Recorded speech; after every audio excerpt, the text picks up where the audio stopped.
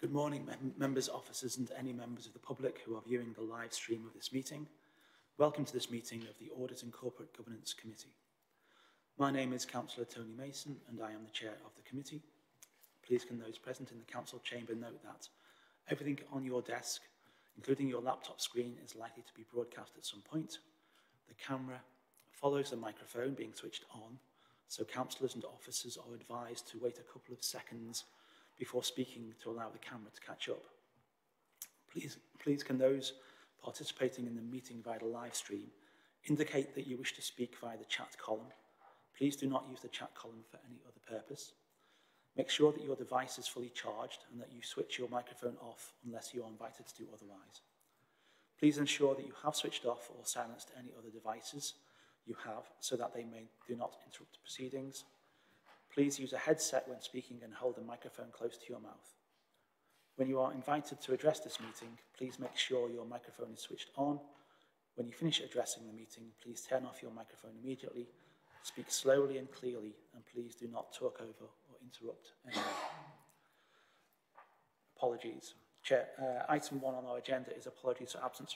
Patrick, are there any apologies for absence today? Yes, Chair. We've apologies from Councillor Joe Sales. Uh, no substitutes. Declarations of interest. Do any members have interests to declare in relation to any item of business on this agenda? If an interest subsequently becomes apparent later in the meeting, could you please raise this at that, at that point?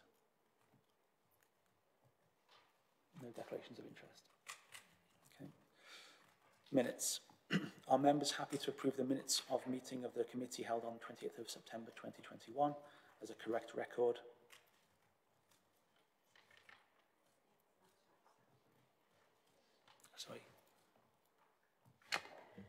Um, it was just, I agree, it's a, a reflection of the um, meeting chair. There's just um, a couple of things within the report, um, or within the minutes, sorry, that would just be great to have followed up. For example, the organisational chart and things like that, which I appreciate it's been, been a lot on, but if we could still make sure that we receive that information um, and the recruitment of the um, 0.5 full-time equivalent, if we can make sure that's happened.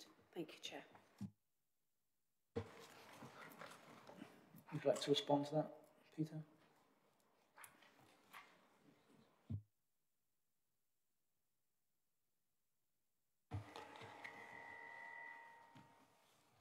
So, are we there? Yeah, then. Um, in response to the second question, yes, I can confirm that we recruited the 0.5 FTE. Uh, and in regard to the first point, I'll get a structure chart issued and passed around as soon as I possibly can. Thank you, Chair. Thank you, Peter. If, if there are no further queries on the minutes, um, I move to, to the approval of the, meet, of the minutes. Um, if the committee agrees, we can approve the minutes by affirmation. Okay, agreed. Next item on the agenda is, is public questions. Uh, we have received two public questions, one from Rosalind Barden and one from Daniel Fulton. Rosalind Barden, please can you ask your question?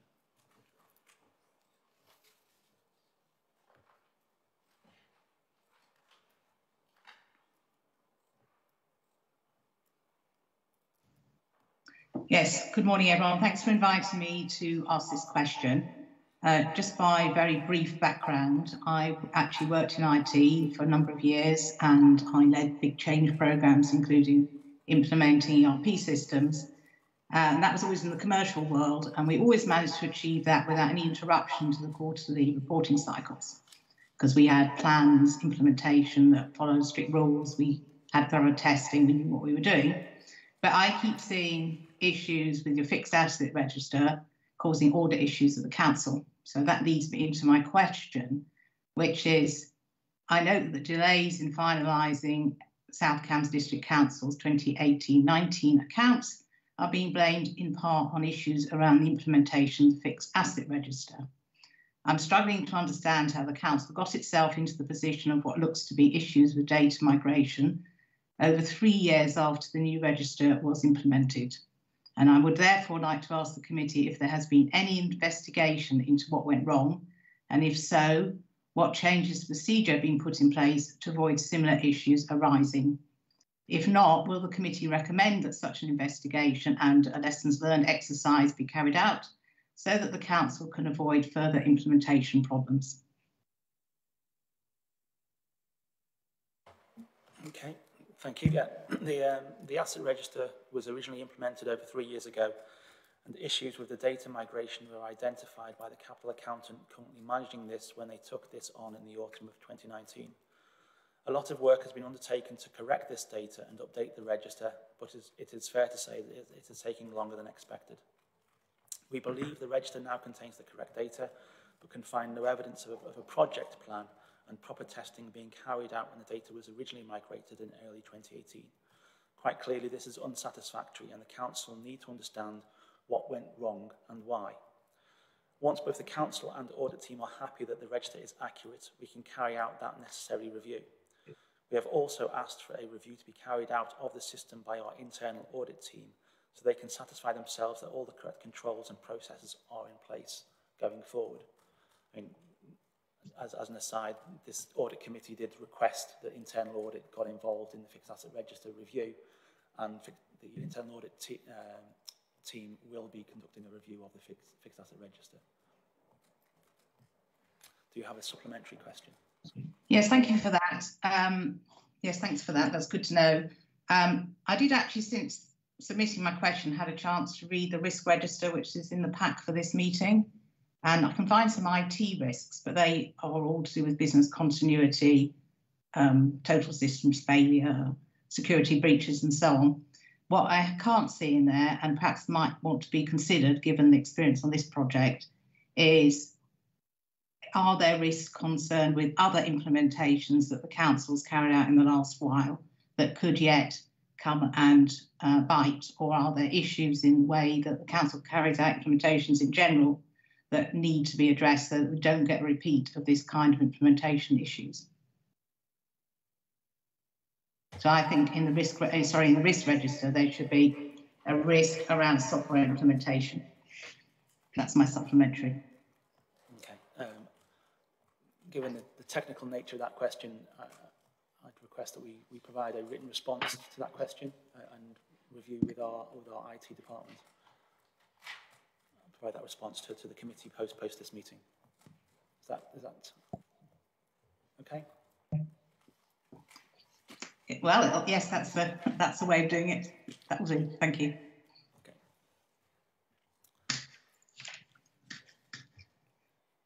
Chairman, may I ask if we can have a written answer that, that no, I, I, I, did and, and, to everybody involved, please. Thank you. Yeah, no, I, we will get a, a, written response to the question and, and provide it to the committee and it's provided to, to the people it. Yeah. Okay. Thank you for your question. Um, Daniel Fulton, can, please can you ask your question?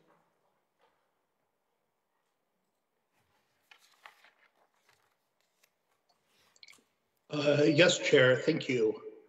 Um, does the chair of the committee feel that the governance arrangements for the council's uh, shared services um, um, are currently fit for purpose? So in, uh, yes, I am satisfied with the current governance arrangements of the shared services and that they are appropriate for each of the services with member oversight from each council. These arrangements have been in place for a number of years and are subject to review currently to ensure that they are fit for purpose moving forward as our services and relationships continue to develop. To develop.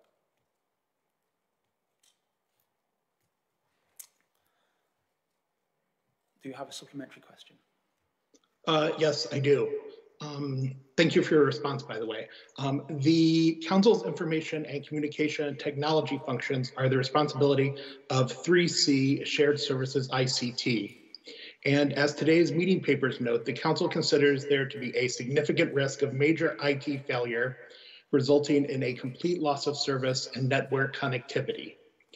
Assurance in regards to this issue is supposed to be provided by quarterly performance, finance, and risk reviews undertaken by the Shared Service Director Board with each head of service. Amid other concerns about performance at 3C Shared Services ICT recently, I attempted to contact the head of service. I was somewhat alarmed to discover that the head of service's email address at 3C was no longer operational. And attempts to contact the head of service through two active departmental emails uh, were not successful.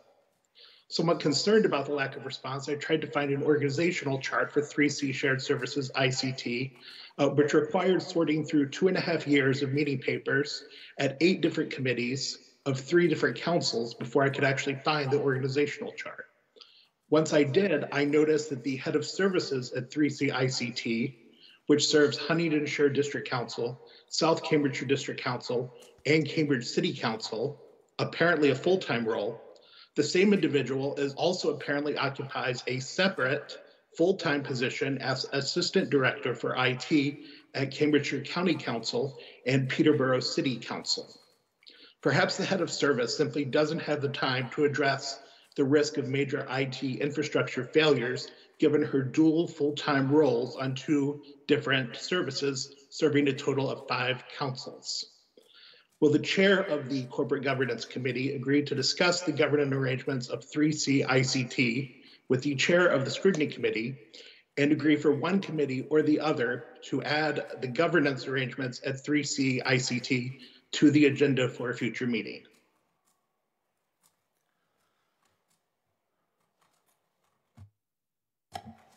It's a very long question, and, and I will have to give a written response and, and discuss with the chair of scrutiny as to where this lies. My position would be that the Audit and Corporate Governance Committee are an overview for the frameworks of, of the Council and, and scrutiny are involved in the operations of the Council and ensuring that they are sufficient. So we need to understand where the gap lies and, and where the, the meeting of, of your question is as to where it fits in audit or in scrutiny. So I, I will contact the, the chair of the scrutiny committee and provide a, a written response, but also on, a, on your very detailed information on 3C ICT. We'll also seek to get a head of service involved as well. Great, thank you very much. I appreciate it. Thank you. Okay, uh, that, that concludes the questions. Uh, we move to agenda item five, audit appointment for 23-24 onwards, uh, the appointing of the auditors. May I ask Peter Maddock to introduce this item? Thank you. Um, so this item is about uh, appointing an auditor for the period starting in 2023-24. The process goes in a five-year cycle uh, and the current uh, appointment cycle ends at the end of 2022-2023. Um, we have to inform the PSAA which route we need to take or we want to take by 31st of March.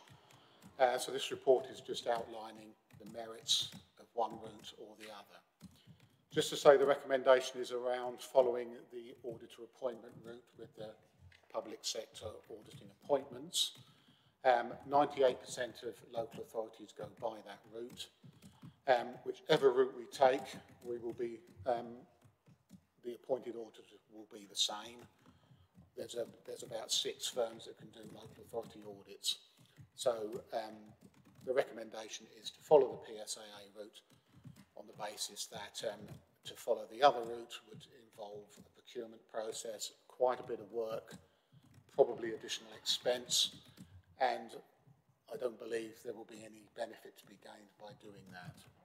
Um, so, just for members to uh, to comment possibly, um, but the recommendation is that we join the PSAA route. Um, so, yeah, any questions or comments?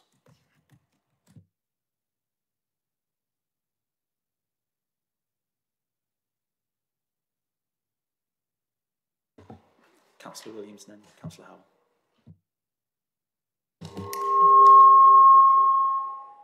Okay, I'm going to try and talk and not get too much feedback. Uh, thank you, Chair. Um, so, I, you know, the PSAA contract is something that we have discussed at previous meetings, and indeed, I recall a meeting um, that my, I, I attended, the Chair and I believe some former members now of the committee, given the, the length of time it was, with representative in relation to these contracts because obviously we weren't weren't satisfied at the time of the provision that was being given to us by our external auditors. However, I think realistically, it is the most sensible and pragmatic. It's not, not the perfect route, but I think it is the most pragmatic route that we have available to us, given the um, very small number of firms that actually cover this field. And what I would like to ask, because I say we've obviously not been entirely happy with this, is the risk, the risk to us if we weren't on our own able to find and secure an external auditor, what risks that would expose us to, because that's what's making me think sometimes it's, um, you know, the better of two evils. The, the risk if we, if we were to do our own contract is that um, we might not actually get anybody to, um, who wants to do the contract via that route, so we could potentially only rerun the exercise.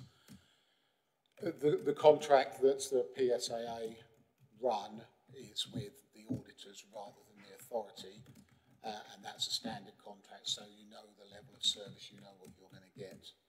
In theory, you know what you're going to get from that contract.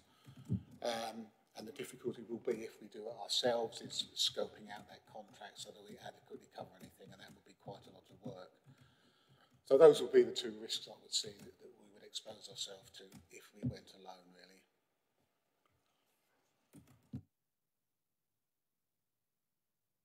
Councillor Howell? Thank you. I appreciate I might be coming in here late in the day, but um, have we looked at the ESPO audit framework and thought about using that? After all, it is a local authority-owned company. Uh, I haven't. Um, Then, Chairman, may I just request that um, when you have the opportunity to look at ESPO, E-S-P-O, ESPO, and if you put into computer ESPO audit framework, and I believe it's lot 2C is the external audit framework. ESPO is a company that's owned, part owned by Cambridgeshire County Council as well as several other councils, and they provide frameworks as well as textbooks and things which we all ask you. So just have a look, that's all I'm asking. But I appreciate I'm coming in late in the day. thank you. And Councillor Williams and myself are county councillors, we should declare.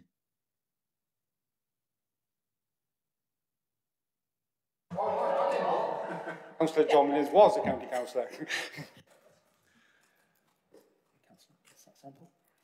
Uh, Thanks, Chair. Um, so just a question on the uh, PSAA contract. Um, if we go through that route, um, is, can I ask, are, are the auditors engaged on a, um, a sort of standardised contract that are, that are shared, that's shared with all councils that work through PSAA, or are we able to um, add supplementary clauses to that contract?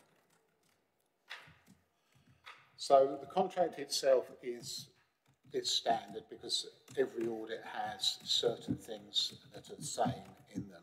However, some authorities will have additional requirements.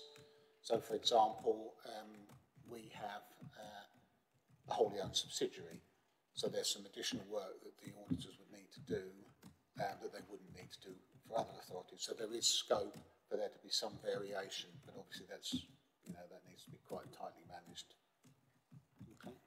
Uh, Thank you, Chair. If I may ask a, a, a brief supplementary question. So the, the reason why I ask this is that we, um, we had um, at, at a couple of points conversations with EY about the impact of um, the, the, the, the resourcing at particular points throughout the audit process and the financial impact that delays have caused on the council. Um, and I just wonder, when we've had those conversations, the, the response has very, much been that the costs to the council are uh, relate to work done as opposed to any additional costs in, that are indirectly incurred by the council as a result of their lack of um, resourcing at any given point. I wonder whether we might be able to include within the contract some provision that acknowledges that should the future auditors find themselves in a position where they have uh, lack of resource, which in, indirectly uh, incurs costs to the council, then there is some recognition of that within the balance. Yes, that sounds, that sounds highly sensible, so yes, I'll, I'll pick that point up, thank you.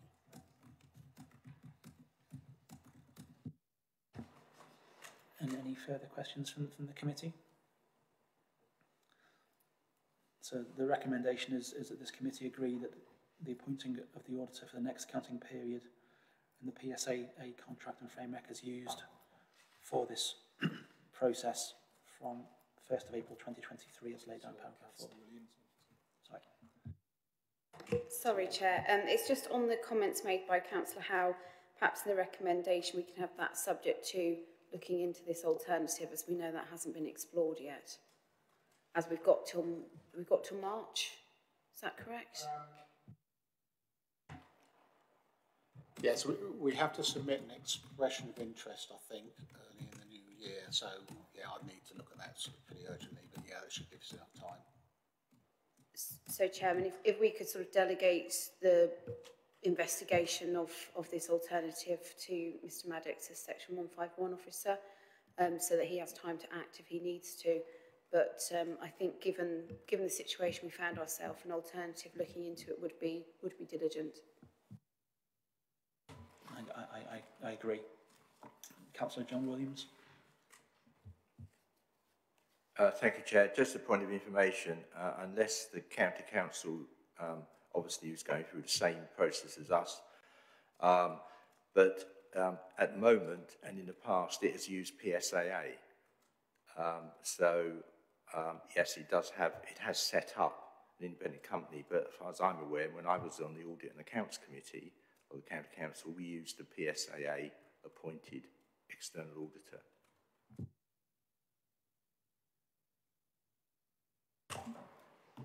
noted. But as, as Chairman, with your permission, I, I'm quite happy for to delegate to yourself and, and others for the final decision. But I mean, you know, we can give a, a, a yes now. But um, all I'm asking is just how, consider P uh, ESPO. That's all. If it's not suitable for whatever reason, then that, uh, that, that comes down to yourselves. I think I, I, I take on board the, the comments and, and, and as outlined, the can change the recommendation that it is a recommendation pending a suitable review and, and then feedback to myself as chair with the section 151 officer. And then I, I'm more than happy with that, Chairman. I, I, I will provide then a, a written response to the committee. If that's your proposed recommendation, Chair, then I'm happy with that and happy to second it. So. Okay.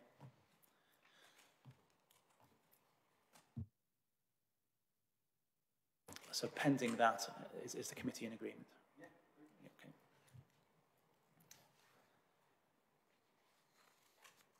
So, we go to agenda item six, the final accounts update. Um, may I ask Peter Maddock to present this item? Thank you. So um, this is a report that looks at the uh, outstanding accounts that we've got. Um, I've got a colleague on the on the call who can answer any detailed questions about the timeline, but he he's produced a Gantt chart that scopes out when we think we're able to complete the audits by. That's on page 15. So you, you'll see that um, the 1920 audit is proposed that that will commence early in February of 2022, and you'll see um, the timeline for the other audits there. There is a contingency built in at the end um, because um, with any project like this, there's bound to be some slippage. So we're sort of um, suggesting that the process will be complete by the end of October, but with slippage and, and things, hopefully by the end of January. Um, we have had initial discussions with with the auditors about the timeline. Um, but this, this is where we are at the moment. But obviously, depending on when the 2018-19 accounts get signed off, it may or may not have an impact on, on this timeline. Um, so I don't know if there's any questions on, on, on this or comments. Councillor Heather Williams? Thank you, Chair.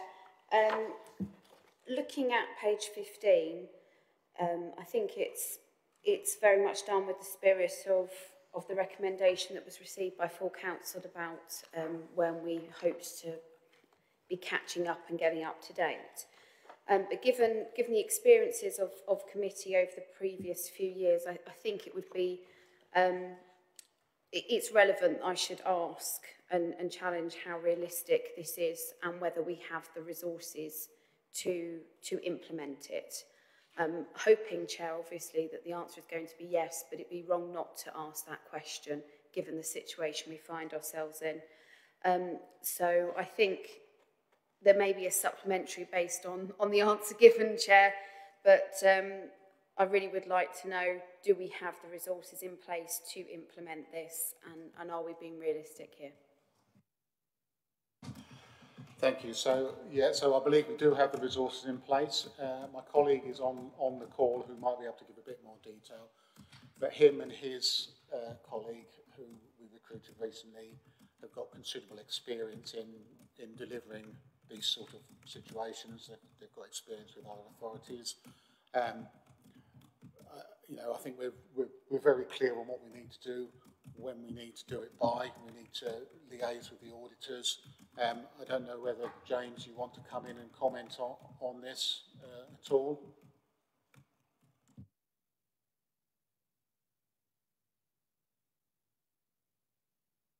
So this is my colleague James Carter. So he's he's leading on the getting the accounts up to date. Um, so um, I don't know whether people have met him, but um, he's got considerable experience in this sort of thing. So. Yeah, thank you for uh, inviting me to uh, uh, comment on on this. Um, in um, in that report uh, before you, um, I, I, I, do comment um, on the um, action that um, SCDC have, uh, have, have taken to uh, to ensure that they have adequate resources and how those resources could be identified by effectively putting back some of those requests for um, information, which tend to delay um, the um, auditors completing back to the um, individuals within the finance team that would, would provide that. And that, would, that gives them the opportunity at that stage to be able to assess whether they can handle that additional information request with their business as usual uh, and uh, as they currently find themselves in the budgetary um, uh, preparation process. And um, uh, the uh, officers have uh, agreed to provide um, additional out of hours work, which we've identified um, already in the process. information has been coming in after normal office um, hours. So it does appear to be working satisfactory at the moment, but that also gives those individuals an opportunity to take that up with their, uh, uh, their department uh, heads if they felt that they weren't able to, and then they would um, uh, be able to call for additional resources um, with their uh, day day to day.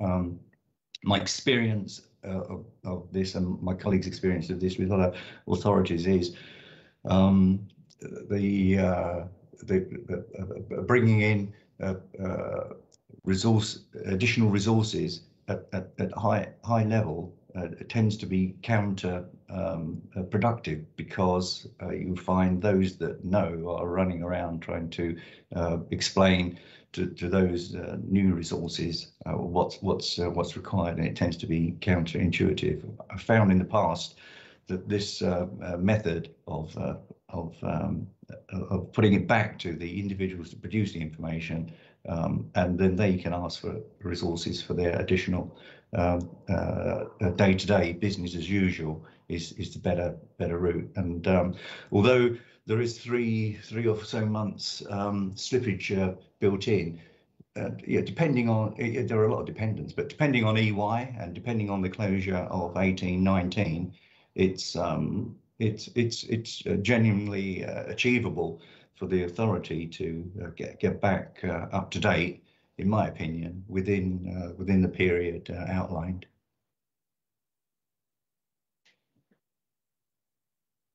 Thank you, James. Councillor Williams. Thank you, and thank you for that explanation. Um, with and I, and I don't disagree with actually the the answer that's been given to me in in the practical terms and everything. Um, but with that in mind, can I ask how many how many people in the finance department have we got in on an interim or short-term contract basis? Um, and the extra resource we have, whether they are also interim and if so, for how long, please, Chair, because we also know turnover is, is if we're using that method, which I agree with, we also are reliant on those people being in place for, you know, for consistency purposes. Thank you, Chair. Thank you. So, um, James and Tracy, the two people who are involved, are with us until the end of this uh, Gantt chart. So we've signed them up. Well, we've signed them up till uh, October, I think. Um, I need to double check that, but um, we clearly need them on board to drive this process through. Um, so, but they are both interims. Sorry, Chair, if I can, if I can clarify, October, is that October 22 or 23? 22. 22 Just because the chart goes up to obviously 23, so October 22.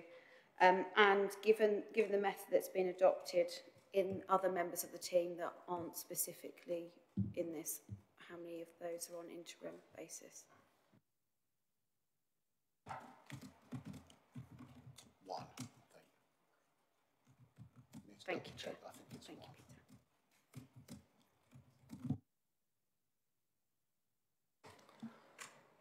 Any, any further queries? Uh, Councillor Sample? Uh, thank you, Chair. Uh, yes, I think um, certainly our, our experience of uh, over the past um, few years in terms of the, the timelines is that we've um, we've we've the, the, the, the timelines have tended to reach backwards constantly uh, with with new things being discovered. So I think whenever a, a schedule is put together, um, clearly there is some um, some of a, some buffer here for uh, for for uh, things that will be discovered along the way. But I think it's it's very difficult to put an an end point on particular tasks if you're you've got a, a sequence of unknown unknowns essentially that have been discovered. And I, I, just wonder. I know that a lot of work is going into the 1819 accounts um, that is um, uh, structural with a view to getting them in a place where future years can be can be done on a more planned basis. I, th- I think my question, Chair, is are we confident that when that's sorted out, that we'll be in a position where we can create timelines that we can largely stick to as a council in terms of um, the audit process? So I think um, the, the, biggest issue with the 1819 accounts has is, is the asset register. Once we've got that agreed, the process, once it's ongoing, is, is actually relatively straightforward. The, the biggest process is getting that asset register right. So I think there's no doubt that's been the biggest issue around these accounts.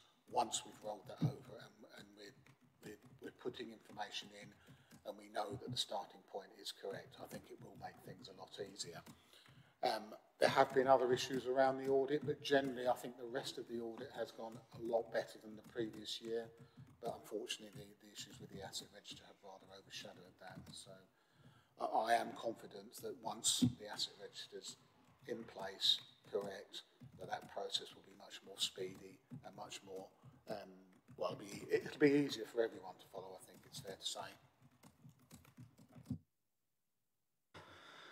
I think uh, picking up on something that Councillor Heather Williams mentioned earlier, um, my, my question would be, and from what James has said, we're, we're looking to essentially backfill finance team so they a backfill can do the day to day and release resource into the audit. What what other demands are there outside of the audit in this time frame? I think it'd be useful to see we've got an audit time frame, but where are the crunch points? Whether it's releasing of budgets, finalising of, of, of, documentation, where there are specific crunch points that will impinge on, on the finance team. So as regards the budget, I mean, that's the biggest uh, other competing demand at the moment. Um, a lot of the detailed budget work has been done. Um, since, um, since February, we've had uh, a deputy and 151 and chief accountant who will also be involved in the budget and the audit process. So we have got an additional person compared to what we had before. But I think the the main competing demand for the um, accountants on the ground should be pretty much complete by January. So um, I think we do need to keep this under review because potentially, you know, there could be something crops up that we need to get somebody in at fairly short notice. Um, we've got um, a number of agencies that we can go to to get resources in fairly quickly. But I'm, I'm relatively confident that, um, you know, once we're over the, the main detailed budget process, this focus then switches to myself and the Deputy uh, Head of Finance to prepare all of the papers. So they will then have a little bit more time to deal with audit queries. But I think we do need to keep it under review pretty much on a week by week basis just to make sure that that is the case. And if we need additional resources, we'll have to move fairly quickly, I think.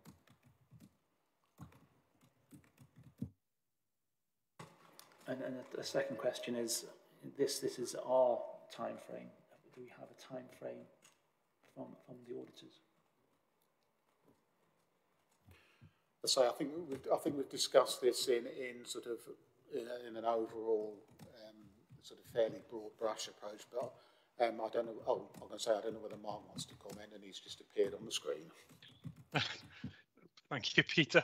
Um, so I think, as Peter alluded to, in, in the broad terms, we have no um, particular issues with the, the, time frame that's been um, put before us. Clearly, the the key um, starting point in that is obviously finishing 1819 because we need as with any audit process, we need a, a, a lead-in period before we come in and do your final accounts audit.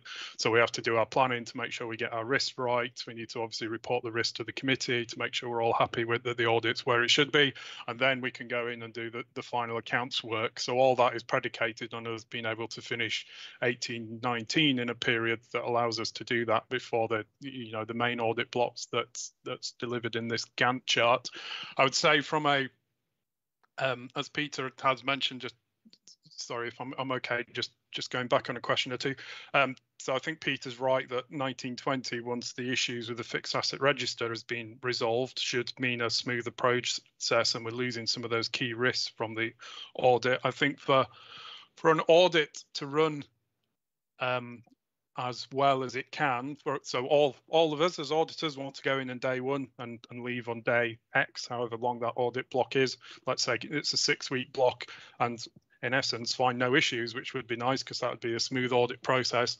And that's again predicated on the, the quality of the working papers that any audited body can can produce. So I think it's it's down to the council to work out how it can um, ensure those working papers that they're delivering for audit are of that right quality. And I know the work that James and Tracy, his colleague, have been doing is obviously driving that forward. But that that's the position we would like to see, you know, going forward as auditors that we come in, that the working papers that support the balances that are presented in your financial statements are of a, a good quality to allow us to come in, do our work, tick each bit of the accounts off in a progressive nature and then leave on that final day as we've we've planned um, um, sorry, I don't know if that answers your question, but in essence, yes, at the moment, the Gantt chart doesn't cause us any major concerns, but it is based on us obviously finishing the 1819 audit to have the lead in time into 1920 and then the subsequent years after that.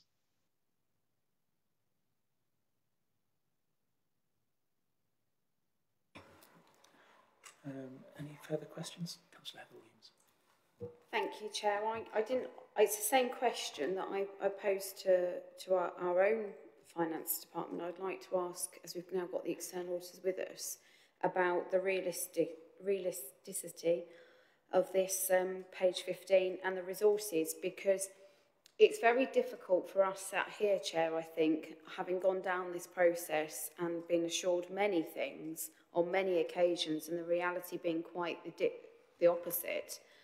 So Am I right in, in what's just been suggested that EY, if the council complies and, and provides information in the time that it does, that EY have the resources also to adhere to this timetable? Because previously, obviously, EY's delays have caused issues. Thank you, Chair.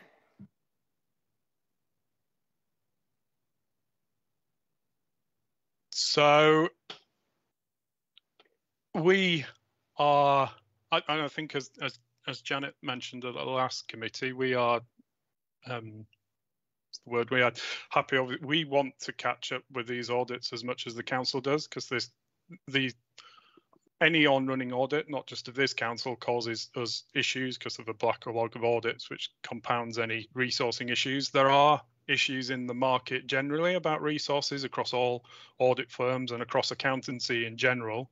But as it stands at the moment, um, we would be in a position to be able to resource as per your Gantt chart um, to be able to complete those audits. But as I say, that would have to change depending on when we can finish 1819 off, because obviously that will change the blocks where your audits are, and then it's how we we fit that into our overall resource picture for all the other audits we've got going. So, for example, we have key uh, points in time when our NHS audits need to be delivered um, across end of April, May. So, depending where the 1920 block moved back, if that is what happens, we'd have to look at how that then gets resourced in. So currently we have the resources to be able to deliver if 1819 gets delivered in an appropriate time frame and signed off. Councillor Williams. Thank you, Chair. Yeah, I mean, I have to say I'm, I'm nervous when I hear we want to catch up and get the resources because, you know, I'm sure many of us would want to be a millionaire, but it doesn't mean it's going to happen. Um, and so, so if I've understood this correctly, the resources are in place for this. EY is, is guaranteeing us that they will not uh, distract from this timetable so long as we meet the 1819 deadline, which is to have it finished by the December, well, 31st, I guess, of this, of this month now. I forgot to do the advent calendar this morning, I'm in trouble. Um, but yes, so we've got 31 days, and then you, you can guarantee that you will do this and have the resources in place? Yes. So we we have resources booked in that's linked to these timeframes as it stands at the moment, based on delivery for this Gantt chart. Thank you, Chair, and thank you for that definite answer. We don't normally get those. It is appreciated. yes, all things being willing with 1819. But... I mean, it, it may be that we come on to it on, on the next agenda item, but mm. certainly my understanding is that the expectation is to try and complete in December, but we will not sign off until January. So I just want to confirm that, that the signing off doesn't delay the start.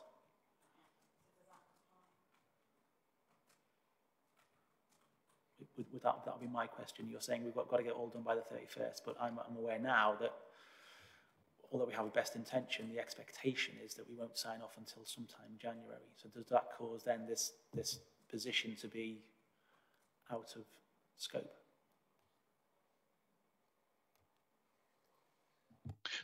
Sorry, is that a question to me, Chair?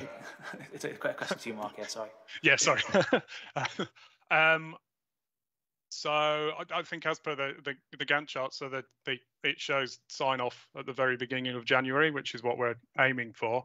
And, and that's what would need to happen for the, the rest of, of that timing to, to then flow. Um, as you, you say, our report shows we are clearly still in progress on 1819.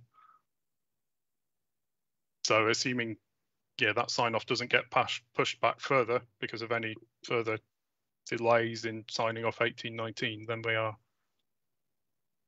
currently in that process that the Gantt chart would, would show, or the picture that that Gantt chart shows. So what is the drop dead date for signing? so, um, not, I don't have an answer for that, but I can come back to the committee with it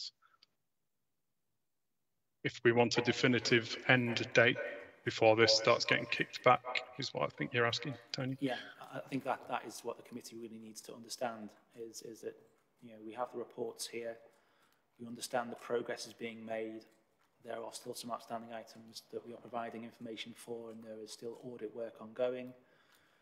Once that audit work is complete, there will then be a review of the accounts prepared and the notes and the technical papers that will then enable, assuming EY are happy with the, what is presented and reconciled, that then we will be in a position to sign off 1819.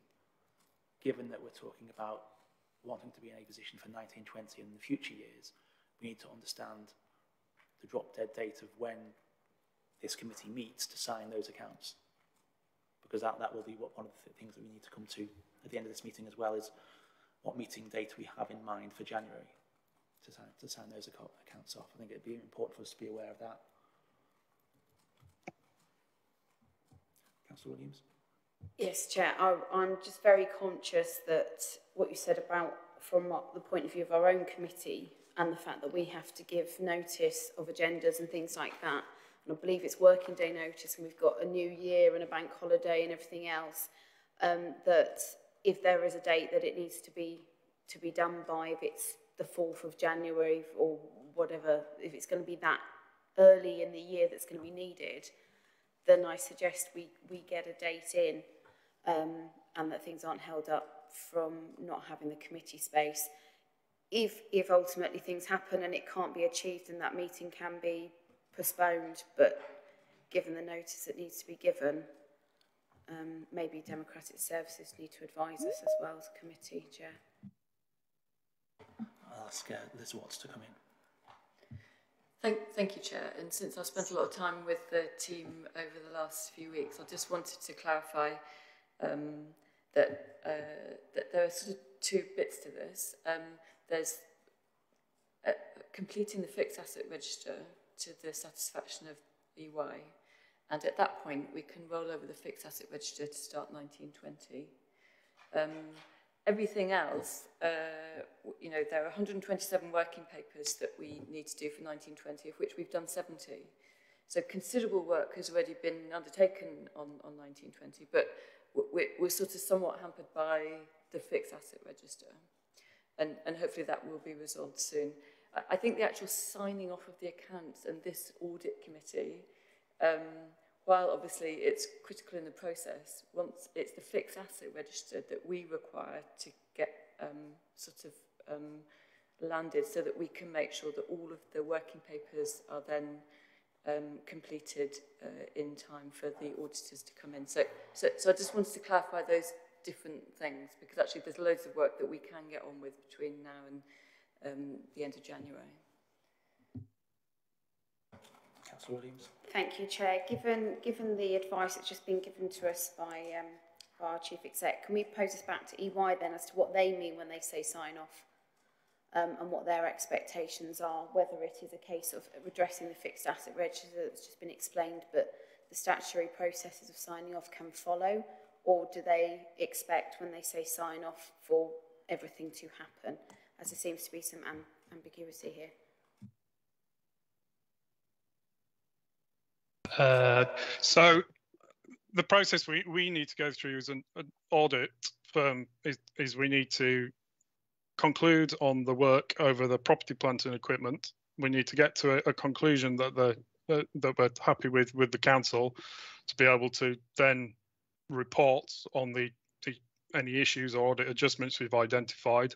We then would then need to obtain the council's final statement of accounts, reconciliations, new updates to the fixed asset register to reconcile that together all that work would then need to be completed before we could and reviewed before we could look to then officially sign the audit opinion, which is what would we're talking about in early January.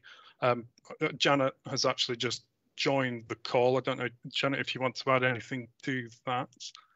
Thanks, Mark, and apologies, um, committee members, for, for being late. I did have a clash and was just presenting another report as Mark was messaging to say that you you got onto this um, agenda item. So as as Mark has explained, you know we need to finalise our fieldwork on the numbers, and then adjustments need to be put through the accounts by officers, and they need to do their quality assessment on that they have now got those right before we can then finalise our work to check that those have all gone through, complete our conclusion procedures, which involve subsequent events reviews, um, letter of representation from management, you know, reporting back out to you the, the totality of all of our findings from this audit.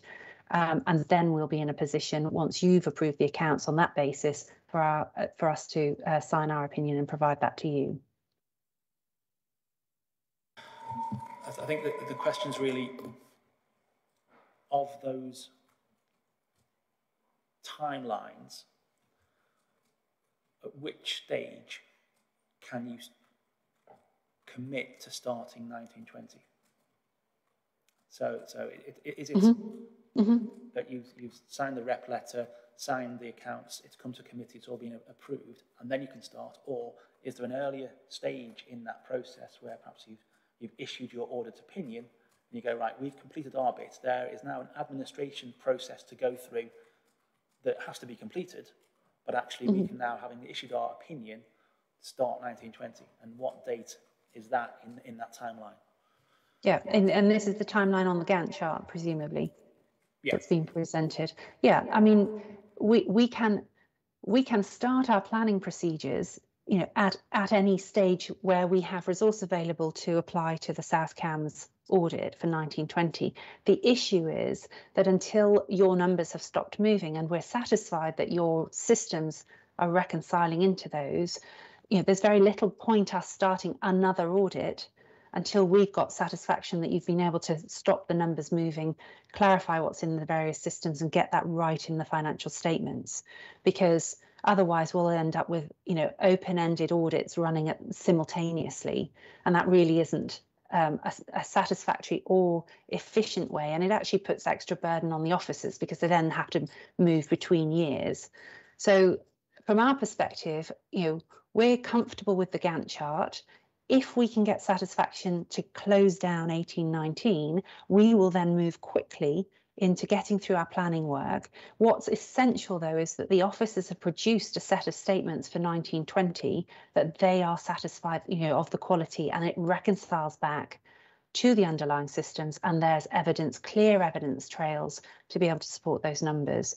So when you're ready, we'll start. But uh, but I would like to close 1819 first, because otherwise we'll end up with two years running, and really um, the, the difficulties that we're having in pinning down those final areas of the numbers means that you know it could have a knock-on impact into 1920 and so we'd end up having to you know duplicate the work and that is not a satisfactory position to be in.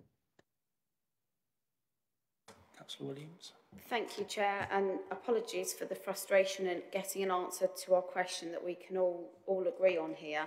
Um, but I, i'm just going to read it says finish and audit sign off.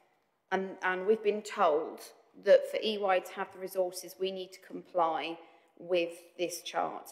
And I think categorically here, we've got one, we've got a great demonstration of how we're getting ourselves in a pickle time and time again, because I don't think we're exactly clear on what actually the requirement is on, on every part of the process.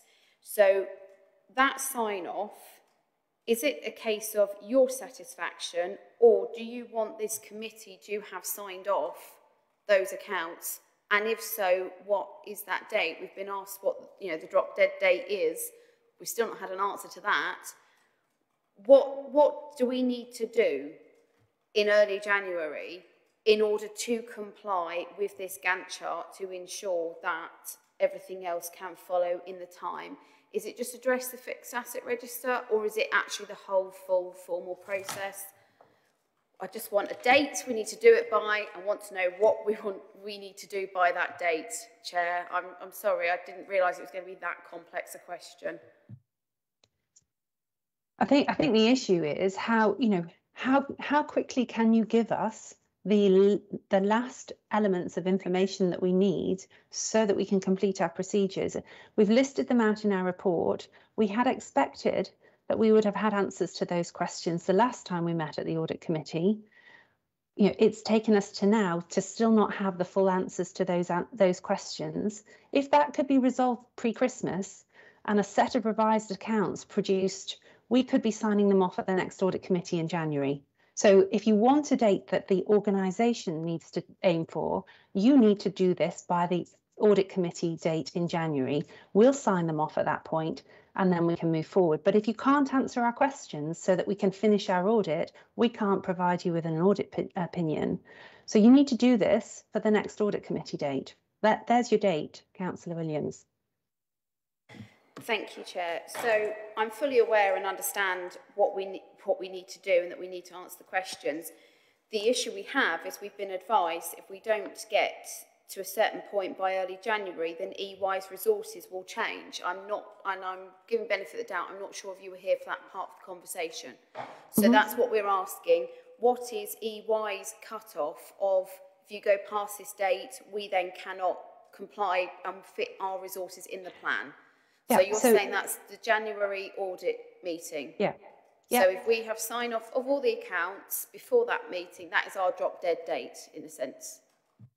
Yes, because if you miss that date, we will use our resources that we have scheduled for February to close down the 18 to continue to try to close down the 1819 audit. We won't start the 1920 audit without having closed the 1819 audit for all the reasons I've just given you about the inefficiency of running two audit years in one go.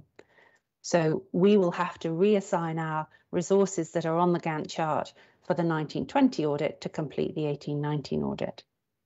And that's when, you know, that's when we start to slip across this, this plan. Councillor Sample.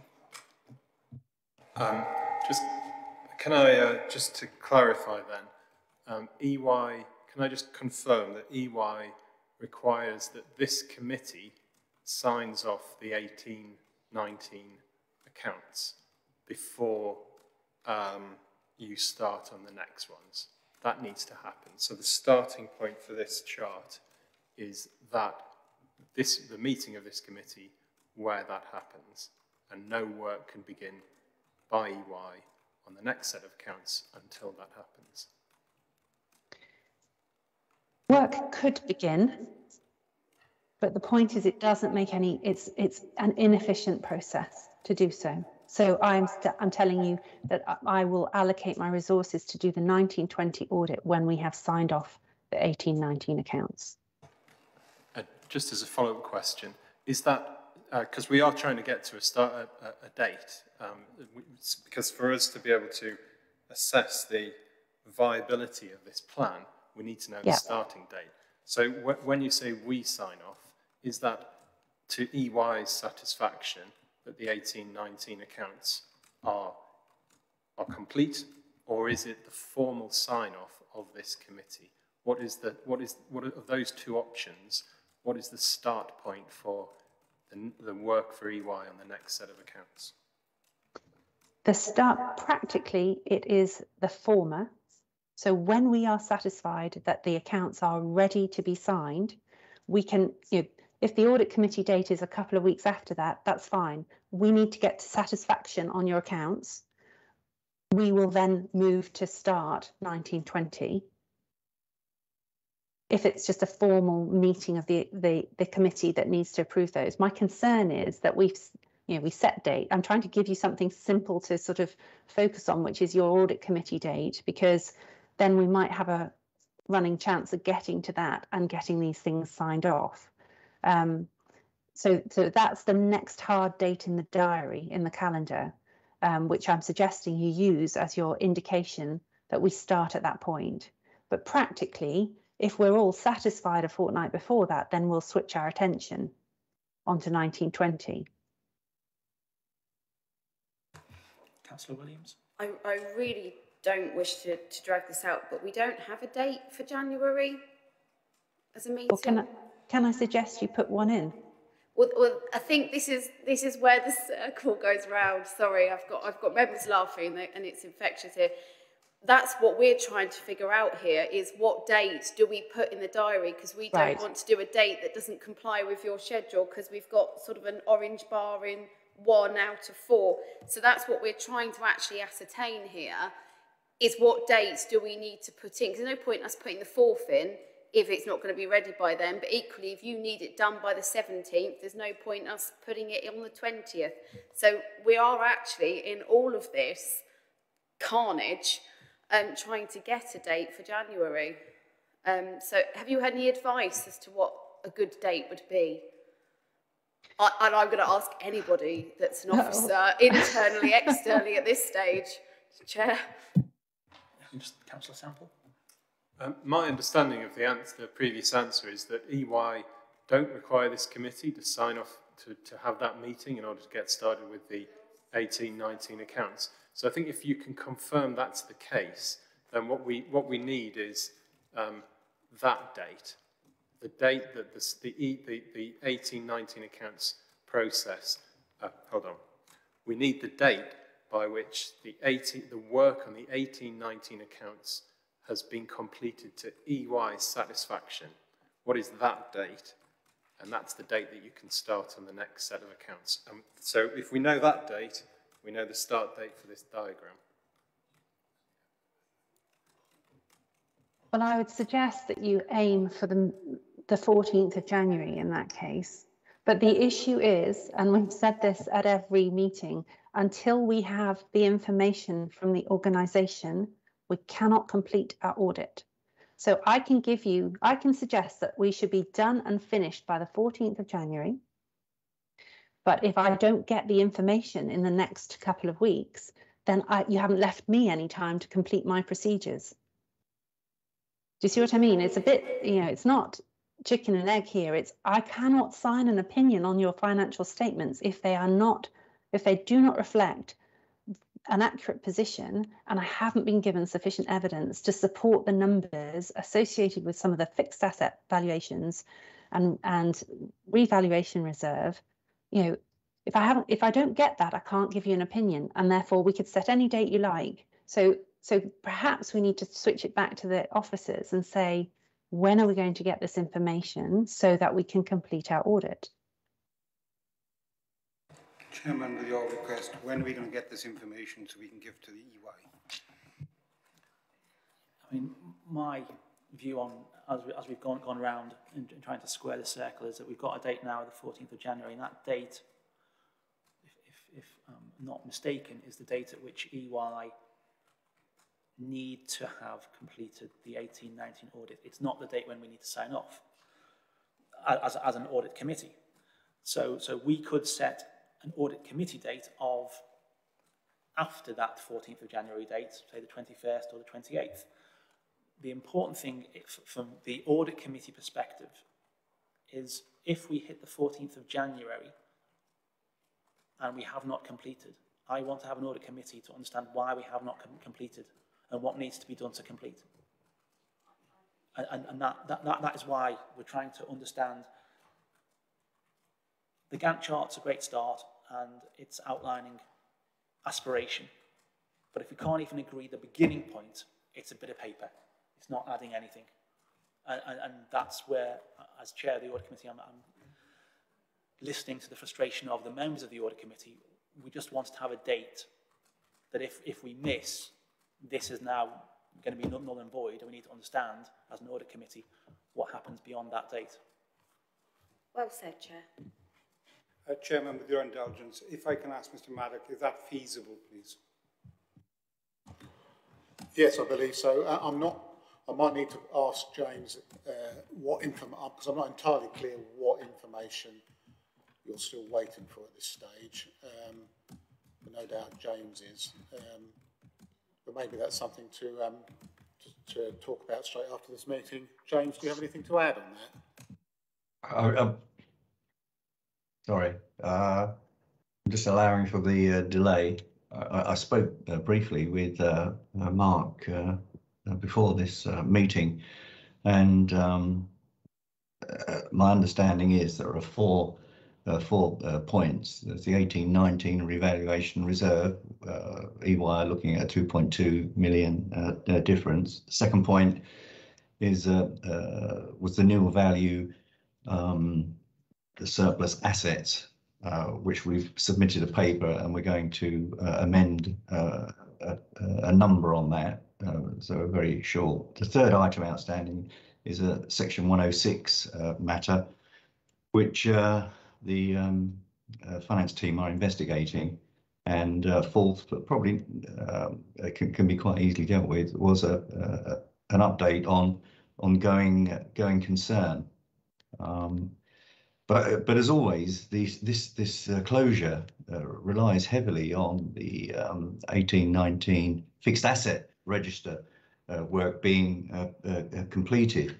And uh, to, to, to speed things up, I can just let the committee know that um, that, that EY Mark has has very kindly agreed to meet up virtually with um, what effectively is South Cambs capital asset accountant Tracy Flack to uh, try to resolve these uh, final final points the, uh, the, the issue seems to be that that, that, that South Cambs' stance is that that they are are, are correct, and are, are, just having some difficulty in uh, answering the challenges of uh, e, e, EY.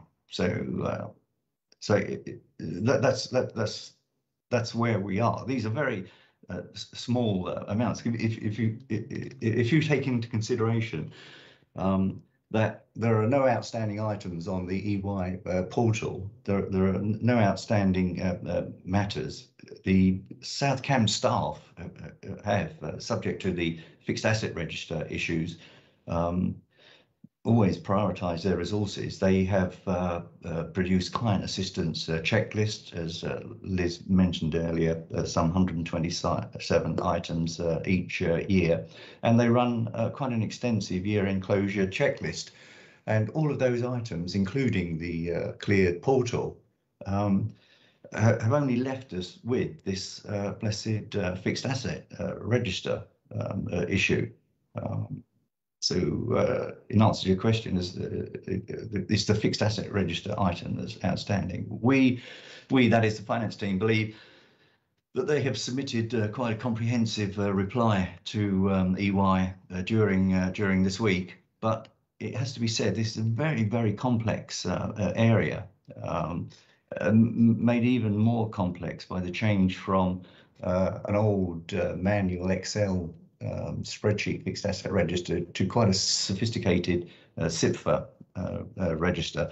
And it, it's really um, quite time consuming to, to get both sides to understand the complexities so that the the answers to the questions that that, that, that Janet um, alluded to earlier know, can, can be given so that they can have total confidence in that fixed asset register. I, I believe that's imminent, and um, hopefully that can be concluded uh, uh, during during this week. But uh, Mark and his team uh, uh, need uh, just a little bit more time to make arrangements for a, a, convenient meeting. But I hope that uh, answers your question. Councillor Williams. Thank you, Chair. Um, so a supplementary onto that is that given the outstanding items, is there anything in, in that list where we are relying on third parties? Or are there things that can be answered solely by the council themselves? I'm just thinking we've sometimes had to commission reports or especially the valuations and things. We've been relying on other other firms. Is everything now in, in the control of the authority and reliant on the authority alone? Uh, should I answer that? If you don't mind, James, I believe that's the case. But that is the case, yes. Yeah, uh, there, there are no out, as far as we're aware, there's no outside or third-party information required to uh, finalise those four points. Yeah, I mean, I'd, I'd uh, on the basis of what's been said now, we can then move. We've got a drop dead date from EY the 14th, and we can have an order committee after that date, and we can discuss that later in the meeting. Um, EY, from my recollection, need to have a minimum of two weeks with the data to be able to sign off. So we have EY saying they need to, they can sign off the 14th as a drop dead date. They, that means they need to have all the information by the 31st of December. all the information, all the files, all the notes, everything, given that it's Christmas and holiday, I would not expect officers to be working on the 31st of December. Therefore, there, there then becomes a, a potential drop-dead date of providing all that information, the notes, the accounts, for EY to start that review process to be in a position on the 14th of January to sign off. And that is probably going to be the 21st, 22nd of December. So, so today is the first, so we've got three weeks to get, get into a position of providing all the information.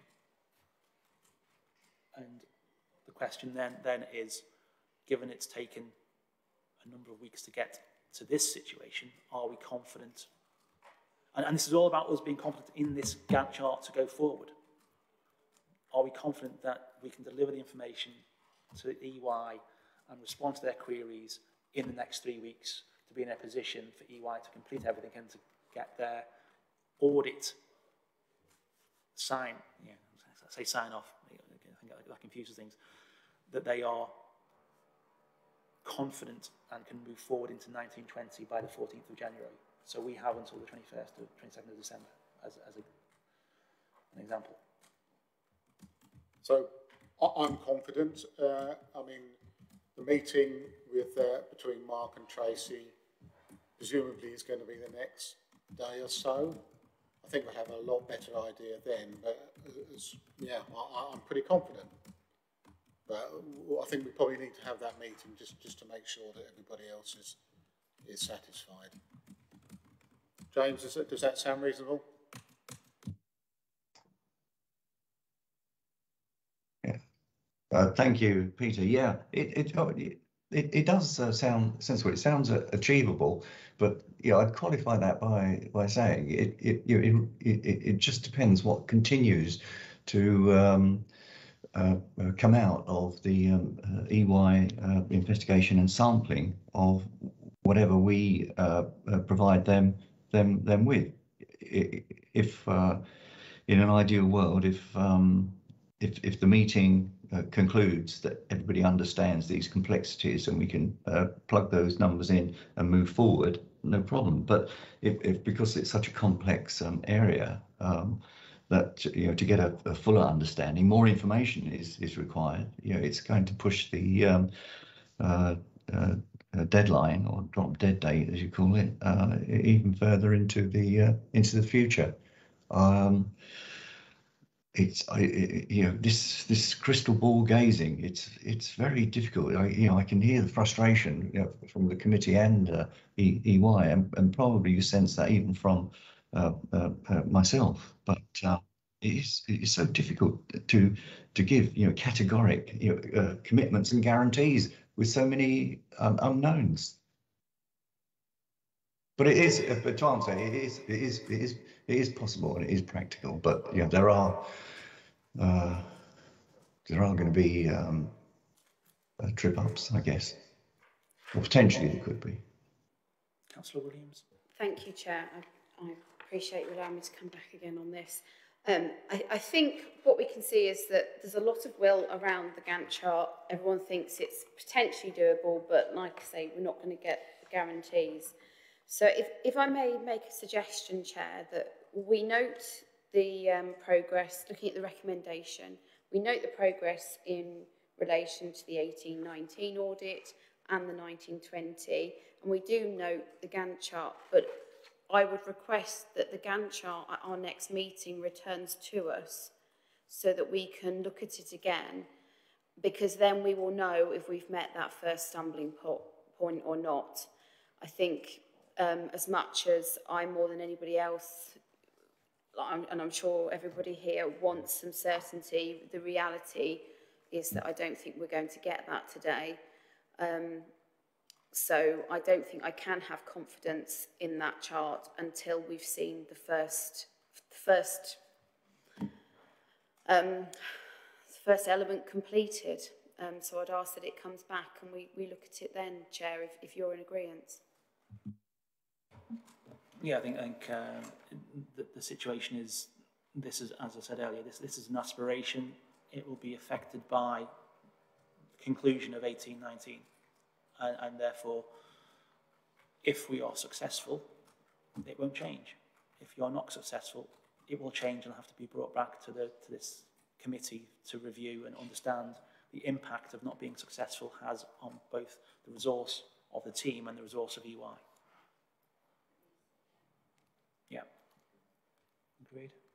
Okay, so, so thanks to Peter Maddock for his report. Uh, we note the progress made in relation to 1819 and 1920, but we do request that uh, pending the next month that a an updated Gantt chart is presented at the next meeting when hopefully we'll be signing off the accounts, but we need to be aware of when that is and the delays that may, may arise.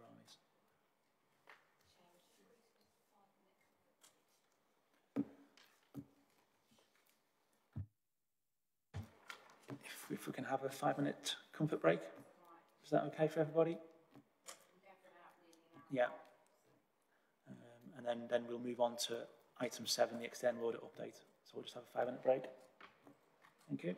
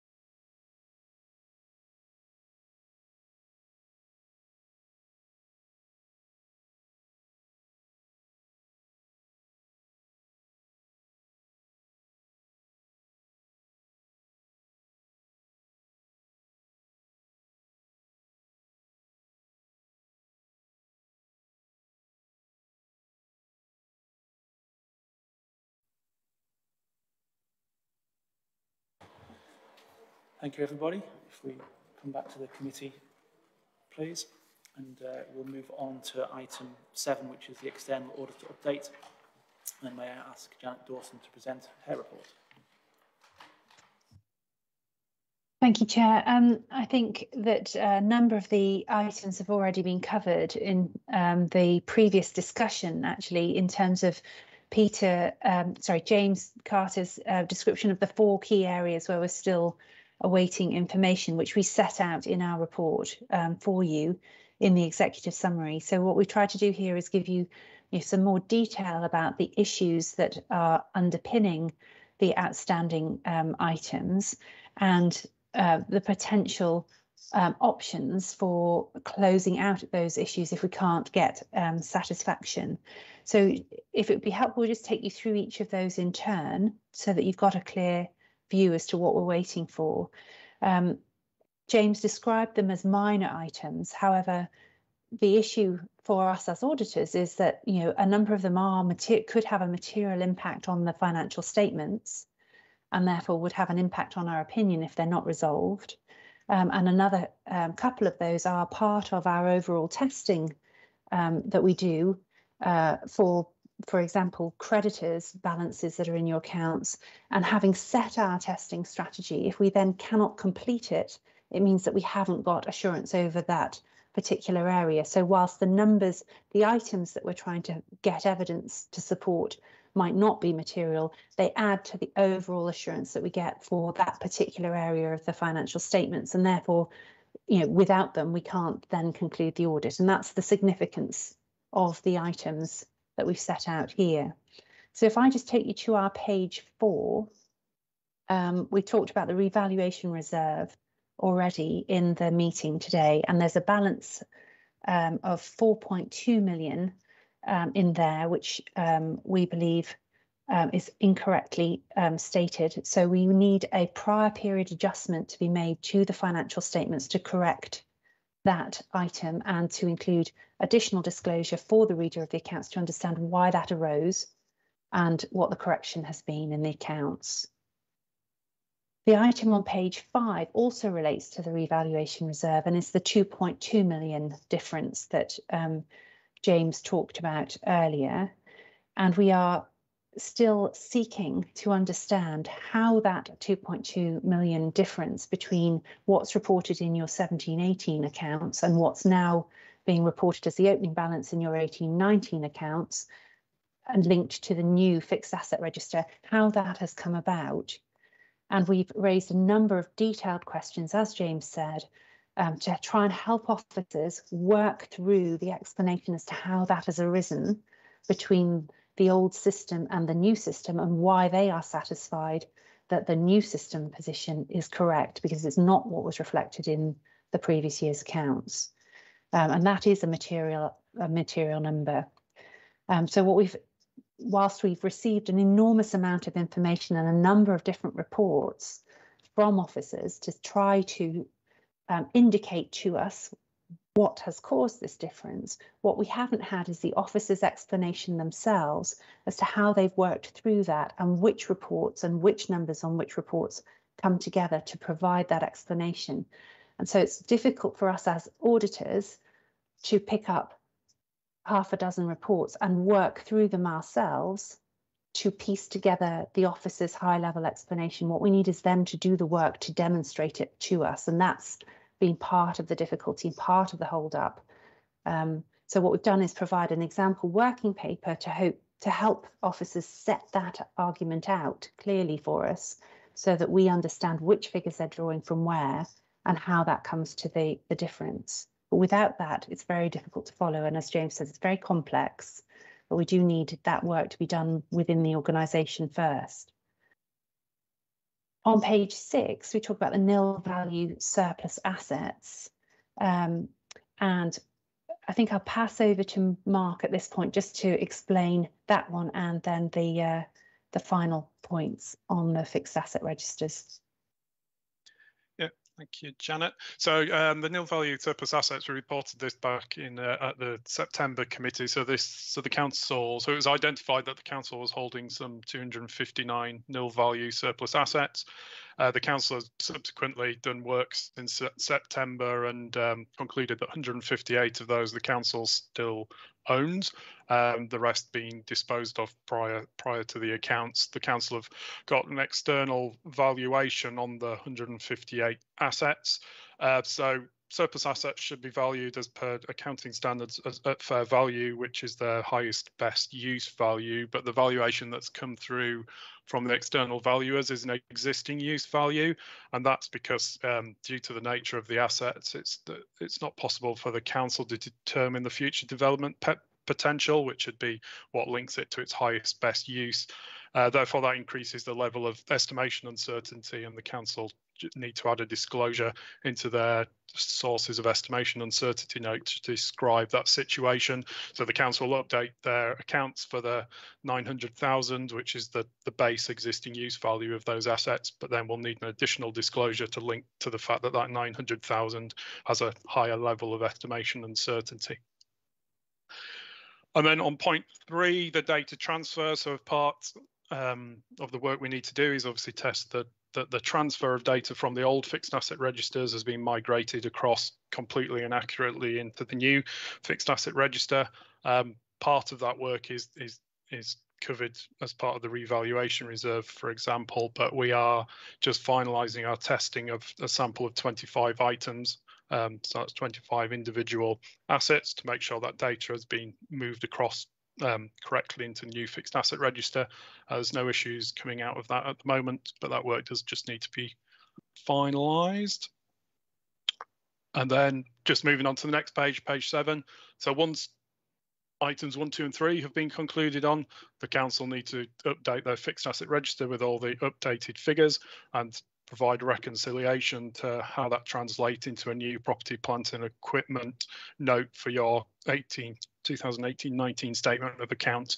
Uh, clearly, that's that's based on having the uh, points one, two, and three cleared to make sure that that um, fixed asset register is a, a, true reflection of the position for 18-19. Do you want me to? Sorry, Janet. Do you want me to carry on to the next bits, or do you, do you want to? Yeah. Do you want to cover the 106 as well?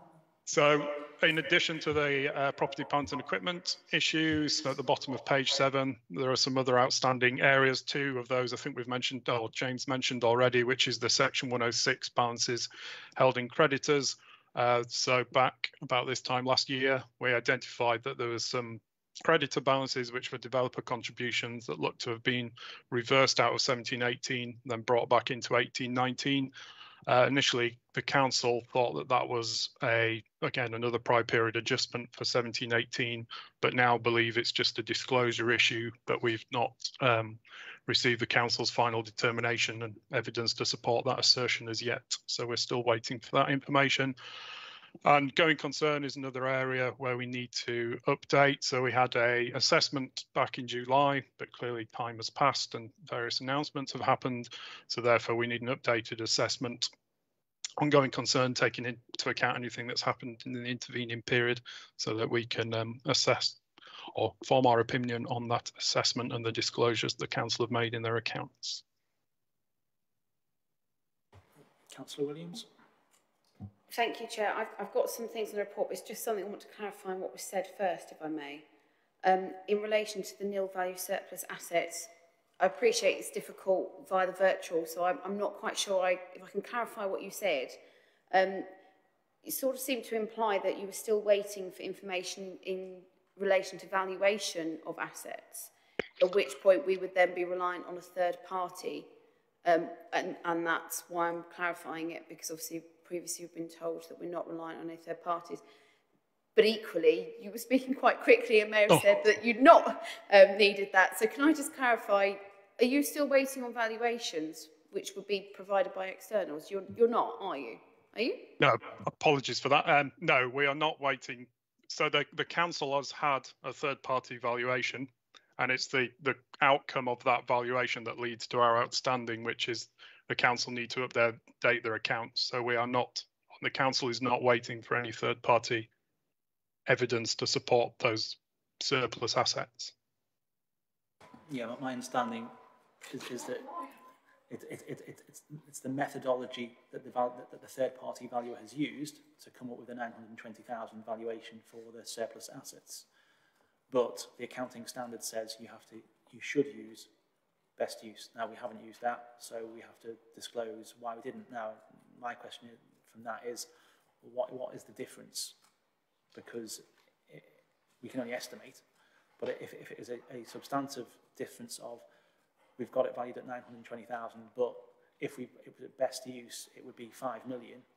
That's such a, a range, it becomes a, a material uncertainty. So best to go with what is more reasonable and prudent than a, a, a best use value that is dependent on so many other things. It's, it's unrealistic. But, you know, the, the principle is we, we've got a valuation from a third party. It's, it's been, I'm going to say, accepted and agreed and, and, and reviewed and signed off by the auditors, but for disclosure purposes, we need to disclose that we are not complying with accounting standards in our estimation and uncertainties and notes. That's, that's the principle of it, if I understand it correctly. Thank you, Chair. I, that was my understanding, which is why I wanted to clarify that based on, on the introduction, because I thought it wasn't consistent with that. Um, I do have questions on the report, but when, when you're ready, Chair, am I okay to? Thank you. So, Chair, some of these will be um, for our external auditors and some maybe for uh, Mr Maddock or internally. So, first of all, on page five, uh, we have about this comes under the revaluation reserve. Um, I think we also actually should stress that obviously some of us have, have got financial backgrounds and, and what have you, but that some people might think we literally lost 2.2 million pounds worth of cash. That, that isn't how it is. It's just valuation of property. So we're not talking about actual cash. I think that's important for um, particularly any members of the public looking, um, looking at this to, to understand these are accounting adjustments. Um, but the, the third to sixth paragraph are, are quite concerning. I think this is an internal question. Um, it says, we were originally told by the council that all of the historic data since 2007 was on there. Then subsequently we said it was 2011 and then it's found out that we were in 1617. So that, that is concerning, obviously, Chair, that we, we are we definite now on that information and we know when it's for and, and everything else. Um, and some sort of have we understood how that confusion has arisen so that lesson can be learned from that. So I think that's that's the first first question. Um, the other thing on on the nil value surplus page six, it says about not having been revalued within the last five years. In going forward, and perhaps the new software does this for us automatically, do we have some sort of expiry, valuation expiry dates recorded so that we make sure we keep up with that? Because I, I think that is important, particularly given that we own land in South Cambridgeshire, which, you know, and the economy changing and fluxing as it is. Um, so that would be my second question, Chair. Um, third question is, uh, in relation to the comments that were made about a referencing system, some bookmarking system or something to enable the external audit to go quicker, if perhaps we could have a response on that and, and have some assurance that that's going to be taken on board and, and implemented. Uh, two more I've, I've got, Chair, and then I, I shall silence myself for a little while. Um, page six, bottom paragraph, about the migrations of data. It says that there were no formal processes or controls put in place by the council um, and that the external auditors are still to consider the impact. Can we, can we be assured that processes and controls and policy is now in place? Because I, I did read that with, with some alarm. We all know that one of the most dangerous times for, for data and, and corruption of data is in migration processes. Um, and my understanding is that it came out, it went back in, and it came out again. So we've got three potential exposures to that. Um, and that, that is very concerning. We, we need to ensure that doesn't happen again. And particularly with that paragraph in mind, Chair, it leads me to my last question, which is um, from Ms Dawson on page three. Uh, to date, we have not issued statutory recommendations on the above, but the way that's worded, I'd just like to clarify, does that mean that our external auditors are still considering issuing statutory recommendations? Um, and if so, can we have some assurance that one of the things not being considered potentially is, is negligence based on that paragraph on page six, six about the um, processes and controls? Because obviously negligence is a very serious, serious thing that we ought to be um, aware of uh, if, they're, if they are looking into that, Chair. Um, so I think that's, that's my questions for now on this report. Thank you. I think there's some responses first from Peter and then we'll go to the external auditors for their response. Well, I'll try and remember the question, questions. I think the first one was around um, misunderstandings. So I think there clearly have been some misunderstandings along the way. Um, I'm, I'm confident now that um, both ourselves and the auditors understand the position, but you know, if there were misunderstandings, then that is regrettable. Uh, clearly there seem to have been. Um, so I can only apologise for that if that's been the case. Um, sorry, what was the second question? sorry. Um, the second question that I believe would be um, directed to Mr Maddox was about um, an expiration date for revaluation and, and valuations, whether we're recording that. Um, and then the other one that I feel is probably applicable um, is about the referencing system, if, if that's been pursued, and whether there is now formal processes and controls in relation to migration of data. So, um, as regards um, formal processes, uh, obviously um, we have we now do have formal processes in place internal auditor looking at that as well, so we'll seek advice from them because they may well have some recommendations uh, as a result of their exercise.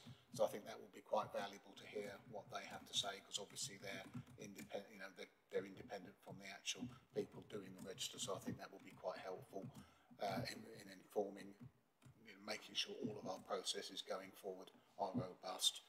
Um, As regards uh, the migration of data, I mean, the migration itself was carried out back in 2018. We can't find any evidence of a project plan, which again is regrettable. Um, myself and the capital accountant weren't here at the time anyway, but equally we do need to go back and see if we can work out quite why that was the case, you know, why we didn't have a plan, if indeed we haven't, but say we've found no evidence of that. And quite clearly, any migration of data needs to have a clear plan, clear testing, uh, and, and just to make and, and sampling, you know, of the data just to make sure that uh, that's been accurate. So um, that's something we clearly need we clearly need to, to do. Uh, the other point I think you raised was around valuation timings. Uh, um, now, um, certain assets have to be valued every year, like our housing stock, like our investment properties. Uh, other valuations you would revalue um, as and when there was some evidence or you or some belief that that value may well have changed since the last year. So it's you know so my my view would be that on these uh, surplus assets, for example, we would review them every year just to check what's happened in the intervening period and whether there was any reason uh, to suggest that the value of those assets had changed. So my, view would be that we would we would review those every year as part of the final accounts process. Um, was that everything? Oh, sorry.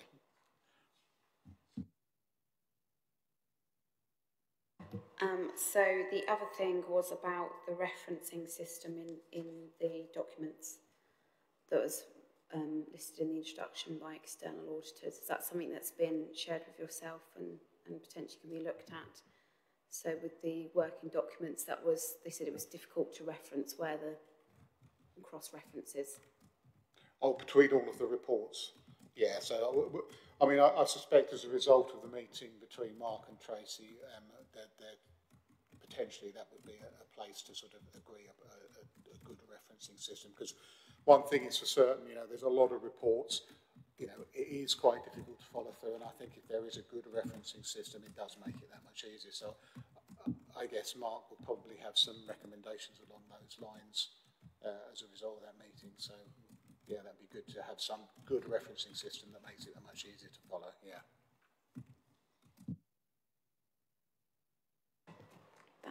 That concludes my internal questions. Obviously, I had ones for external as well on my list.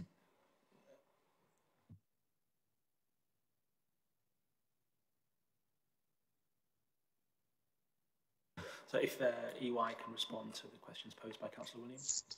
Sure. So I think the, the question, just to recap, was um, about the point on our page, um, the, the bottom of my letter, rather around not issuing statutory recommendations at this point. Um, so in classic external audit language, and I apologise for this, I will be considering statutory recommendations until I decide, determine whether I need to issue them or not. And actually, I'm not able to fetter my discretion in terms of um, you know, whether or not I am going to issue them at this point. So we haven't concluded the audit. There are still some, as I see it, significant issues associated with the fixed asset register and that reconciliation and the information coming from it to be able to satisfy ourselves on the numbers in the accounts. And until we've got to a position where we understand that and have uh, identified in particular this 2.2 million and what's causing it, you know, I'm not in a position to say whether or not, you know, I think that that may lead to some recommendations associated with the way in which that data has been transferred, controlled and managed. Um, so I'm, I'm leaving it open, Councillor Williams. Um, but as I said in my report, I will, in our final report, set out very clearly all of our findings and conclusions and any recommendations that we have around making um, improvements to the, the control environment. Um, and if I think that any of those warrant statutory recommendations, then I will signal that to the committee and move to that position. I hope that's clear. Oh, there was one other before we add an IT issue onto our list um, that uh, with relation to section, page six, um, section three, with the processes and controls, is that something that EY are, are looking at um, in their assessment and giving a judgment on? And I did reference whether you're looking at negligence at all. You did, yes, apologies. Um, so we, the, the, the the lack of controls that have been identified, as Peter has said, in terms of that migration of data, um, you know, we've we've arrived at that view from a number of our questions and testing in terms of you know uh, items of data that were on the system or that weren't on the system and how that's been reconciled through. So as we've been moving through our work, we've identified a number of issues with incomplete data being transferred across and having to be corrected um, by the officers. Um, so again, in that overall view that I'm going to take, um, I will then assess whether or not, as I say, there are recommendations that are significant enough to warrant making them statutory. Your point on negligence is a is a very specific um, word which actually doesn't come into the um, auditors, the National Audit Office code specifically um, under the use of our special powers. Um, so so it's it's not one that is is part of my vocabulary. What i would need to do is have a look at the significance of the issues that we've identified and determine whether it's a question of making recommendations making statutory recommendations or then moving further on to um, you know a, a, report in the public interest or what have you. But negligence in in and of itself is not a criterion within those categories. So it's not one that i would bring back to you at this point and say, I think you've been negligent as an organisation. I'm not responsible for uh, making that judgment within my role. Thank you, Chair, um, and appreciated. And perhaps if we could just clarify ourselves who would be potentially, because obviously that is a significant risk, and if it is a risk, that feeds onto our risk register. Um, and so I would suggest, is are we in danger of this in the current situation? I severely Sincerely hope not. I think, uh, as has been mentioned earlier in this, in this meeting and at the last meeting, there, there, there will be a thorough review of the, the fixed asset register and its implementation process by internal audit, and I would, I would certainly expect that from the internal audit's review there would then be recommendations. I am aware that, that there are improvements that have happened more recently, but you know, we are in, unfortunately in a, an historical position of looking back to what happened in 2018 and some of the evidence that may have been in, in place in 2018 has, has unfortunately disappeared uh, and cannot be traced. So we, we are lacking certainly control and a, a control environment from the 2018 activities. They're being addressed now and internal audit will come back, I'm sure, with recommendations to avoid it happening in the future. Thank you, Chair. Councillor Sample. Uh, thanks, Chair. Um, so just going um, back to the what needs to happen in the next few weeks um, on 1819, um, the report references two things that are um, being uh, that are currently with the council. So under point one, at the end of it, it talks about a number of detailed questions that the auditors have raised with the council. And under point four, under S106, uh, we're currently waiting for the council's final determination and evidence to support their conclusion on the point mentioned. Is, in terms of the, the actual next steps to, to, to, to completing um, the audit, are those the two issues that you're waiting to hear back from the council on? Mark, do you want to just recap on the key areas? So, point, um, so just moving to point one in the revaluation reserve. So the the response that we need in terms of those detailed questions for the 2.2 million is probably at this point in time the biggest key issue that we need because that's the one that has been referred to by James about being a complex issue that we need to work through.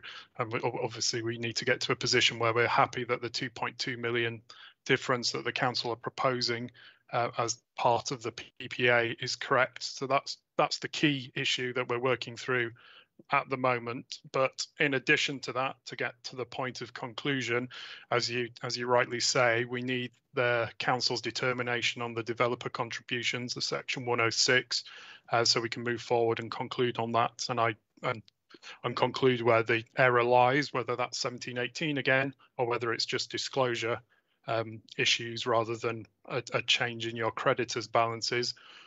So, but we do also need the update to the going concern assessment if we to conclude in, in the time frame that we've discussed. And I think also important importantly, the, the top of point four, which is the final version of the fixed asset register and plant, uh, property, plant and equipment note, that could be a lengthy um, task for the council. Uh, clearly, I, I don't know if Peter or James has an opinion on that, but pulling together all the adjustments that's been identified over the past I don't know where we are now, 16, 17 months in regards to PPE, pulling all that together into a final fixed asset register, translating that into a new property, plant and equipment note and all the balances that it affects in the accounts with all the related disclosures is also a, a, a key job that the council will have to do and will take a, a time period for the council to do. Uh, the council may be in process of doing that as we go along. I'm not sure. That's probably for Peter or James to respond to. Does does that answer your question, Councillor Sample? Yes, I think so. Thanks. Yeah, the, uh, just I think it's it's really um, uh, goes to the question of uh, feasibility of um, getting from where we are now to where we need to be in three weeks.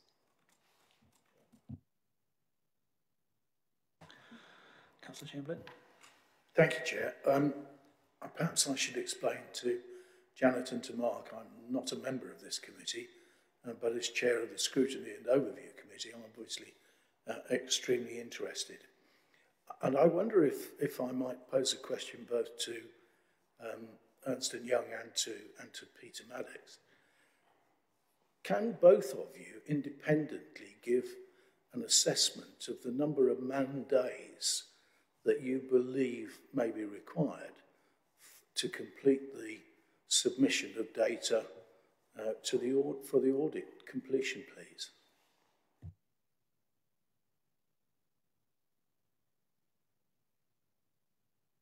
In terms of in terms of completing this, if it was straightforward, if we received the information reconciled and set out clearly, I think we would probably take another 20 man days to complete the work. Because as Mark says, we're just completing the final testing at the moment um, on the 25 items that, you know, confirm that we're satisfied with what's in the fixed asset register. And then there are the key areas that we've discussed that we're still waiting for information, which we will then need to, both Mark and I will need to review, and we will need to look and check very thoroughly through the um, restated um, statement of accounts once we are in a position to receive that. So I would suggest it's about another 20 man days. Um, I was just trying to calculate quickly in my head, councillor, because we we do this by, um, we usually calculate by hours, but we've used in excess of 400 days already on this audit, which is probably twice the amount you would expect for a district council. Thank you for that. Perhaps then I could pose exactly the same question uh, to Peter. I might need to ask James about how long it's going to take to update everything. I mean, James, do you have a, do you have a view on on how long it would take to to process the adjustments? I'm just thinking 10, 10 man days. What, what do you think? Yes, uh, uh, Peter, I, I, I, think we, we have discussed this briefly um, in, in, in the past, and I, I've, I've tried to um, give um, uh, give you and uh, and and Liz uh, comfort that the the total package is is in in its final uh, state. That's the statement of accounts, subject to the fixed asset register being updated. Now, in, in terms of um, I'll just give a brief outline of um, how this this works. once we've got an agreed fixed asset register um, position, uh, Tracy Flack will upload uh, that through the CIPFA AMS um, fixed asset register uh, accounting routines. Uh, generally, that can be done um, by, by her um, uh, on online and, and and should take no more than overnight, so one one one working day. Once that new format uh, is um, arrived at, I can plug that into the um, uh, statement of uh, accounts by virtue of a, a rerun uh, trial trial balance. Um, and uh, as Mark mentioned, uh, it will affect certain other areas, but that will be done automatically through the um, trial balance run through Tech One, which is the current accounting program system. So I, I think, as, as we have discussed previously, uh, uh, 10, 10 working days is um, is sufficient uh, once we've finalised those uh, four outstanding uh, points that uh, um, EY have outlined um, earlier. Yeah, may, may, I come back on that? Because obviously that response was fairly highly qualified. Um, what I'm really looking for, James, is an indication of the number of man days that it will take us uh, to complete the submission of the uh, all the data to EY because um, from my own experience of some years ago receiving an audit report um, not quite along these lines but uh, with a similar slant to it. It actually uh, involved a huge amount of work and I am worried um, that there is a lot of work to be undertaken in the next three weeks, and that um, is sort of 15 working days, but how many man days are actually required to complete the submission in full to EY. Thank you. I'm sorry, I don't have any calculations based on uh, uh, man days. I, I, I, can only look forward um, in terms of working uh, working days.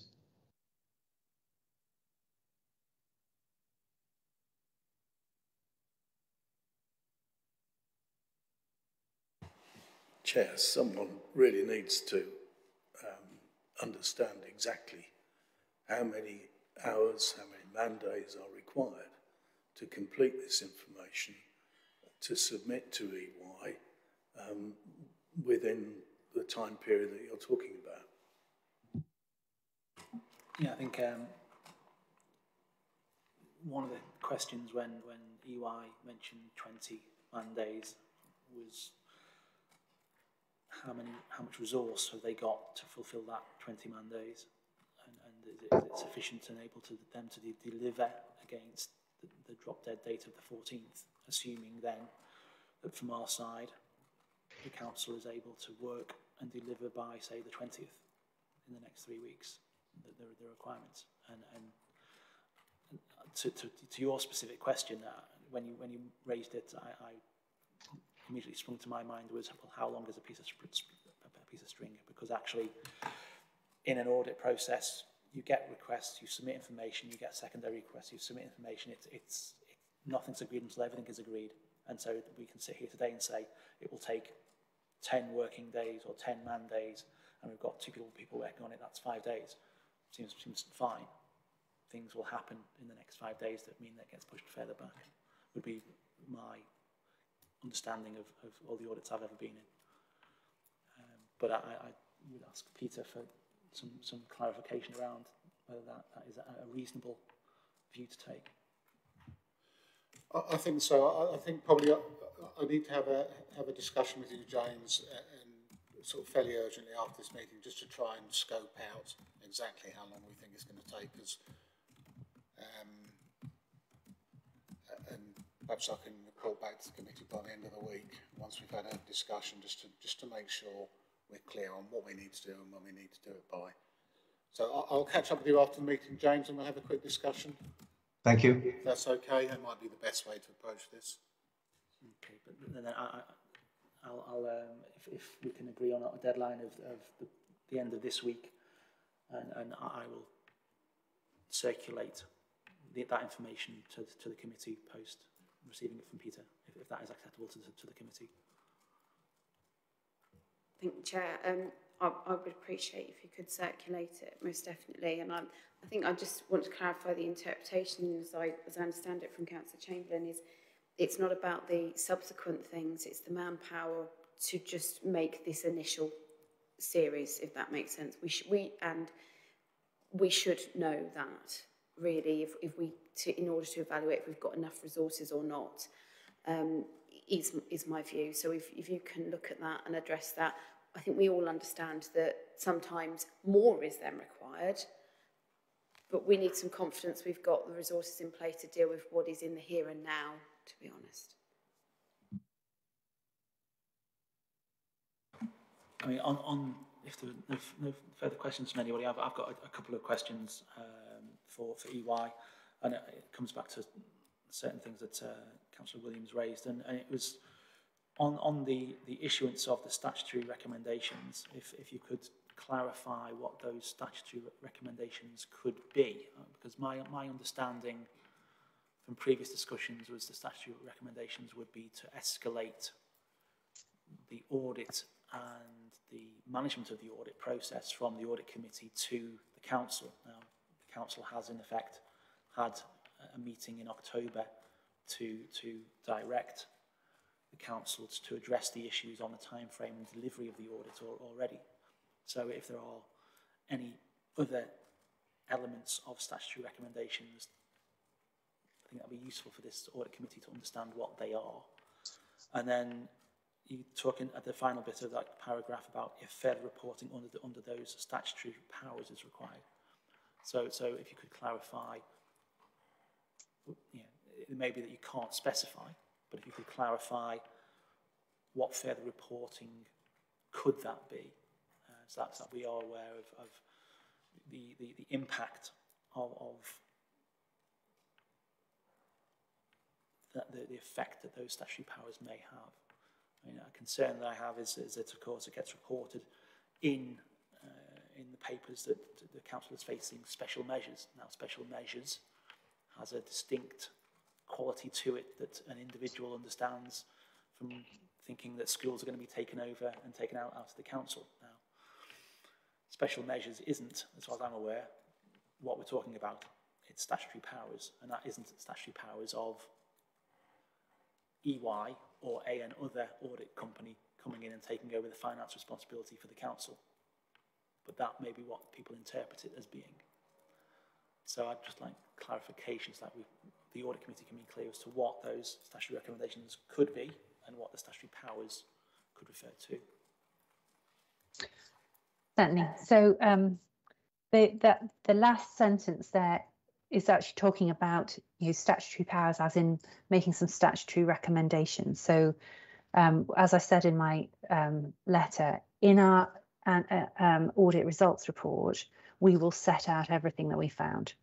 And then at that point, we'll go back around that loop and say, is there anything within that report that we think has such significance um, that it's important that we exercise our statutory powers? So I was if you look at um, the audit, the auditor's guidance note um, number seven, which the NAO puts out, it sets out very clearly on their website the, the hierarchy of special powers that the auditors have, which start with making recommendations to the organisation that then go on to um, using section 24 Schedule 7 of statutory recommendations. They then go on to, in the same section, um, issuing a public interest report where you feel that a matter has not been disclosed sufficiently for the local taxpayers and in the public to be understood. It then goes on to being able to apply to a court have an item um, declared um, illegal, an item of expenditure illegal. And so there's a there's a range, and there are probably one or two others that I haven't um, mentioned now, but but they're all set out really in a hierarchy there. So so my point in making that um, statement, where I say at that stage we will also conclude whether we need to make further recommendations and if further reporting is required, is I will go back to the start of that hierarchy, and I will consider whether or not I need to make any statutory recommendations. At this point, I haven't seen anything further that would lead me to move through that hierarchy any further than that. So just, just to put your minds at rest at the moment, it's a question of do I feel that the council needs to pay attention to where we've got to, what we've found, and is there further action required?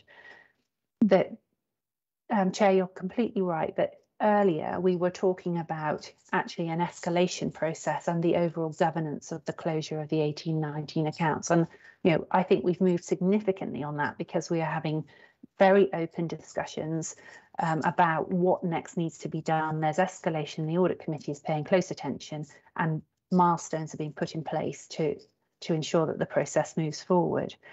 Um, one of the points, though, that I discussed with Liz um, is the value in making recommendations, and if we think they're sufficiently significant, statutory recommendations, is to help the organisation focus on what improvements are required going forward.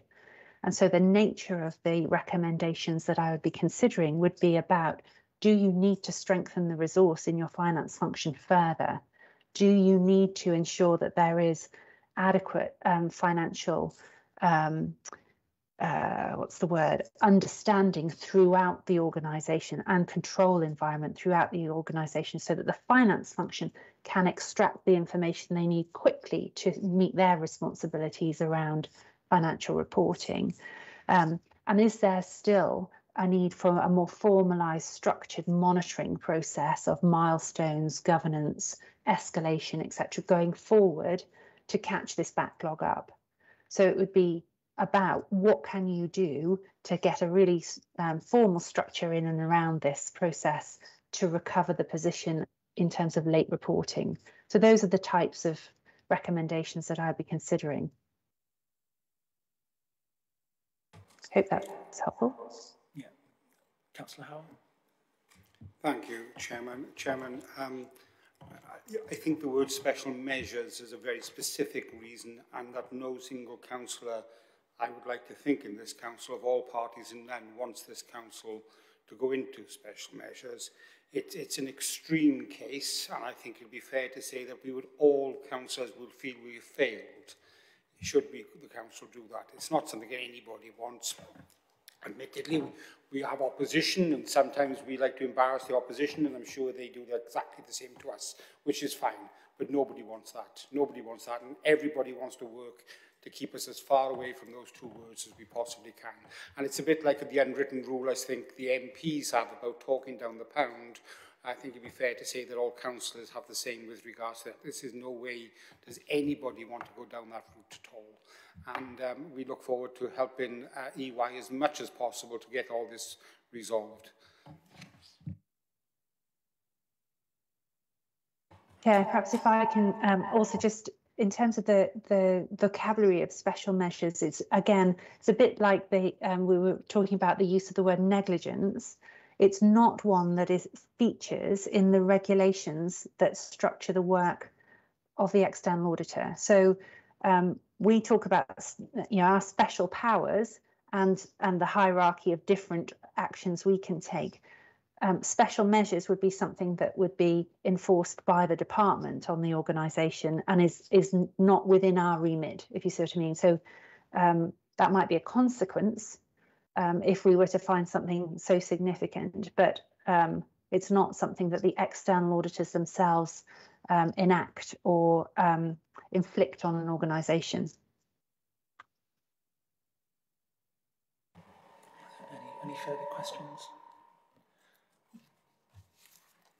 Okay, uh, the committee is asked to note the report from external audit and I thank Janet and Mark for, for their attendance today and for explaining things so clearly. Thank you very much. Thank you. We now move to uh, agenda item 8, the internal audit update report. Uh, may I ask Jonathan Tully to present his report? Thank you very much. Um, good afternoon, everyone.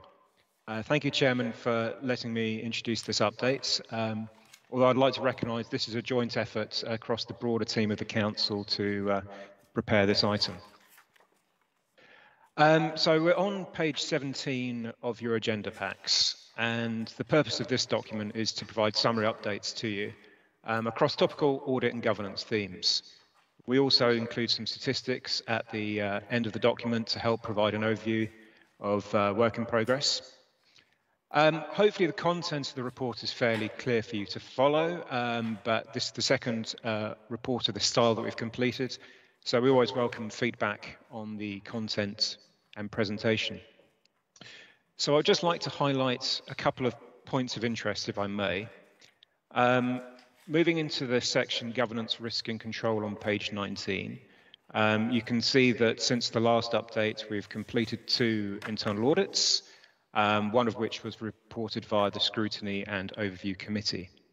Um, both have an assurance level, um, which has improved since our previous reviews. They've both improved from limited to reasonable. Um, also on that page, um, we highlight that we, we also undertake proactive and responsive work to help protect the public purse. And we do that through various data matching initiatives. And we've just highlighted a couple of those projects in the reports. Uh, moving on also in that section, we just provide a highlight of some of the upcoming audit work, um, which is happening over the next quarter. Moving on to the counter fraud updates, which is on page 21 of the reports. Um, Tara Lutbing King, our fraud team manager, has provided some helpful statistical updates on counter fraud activity.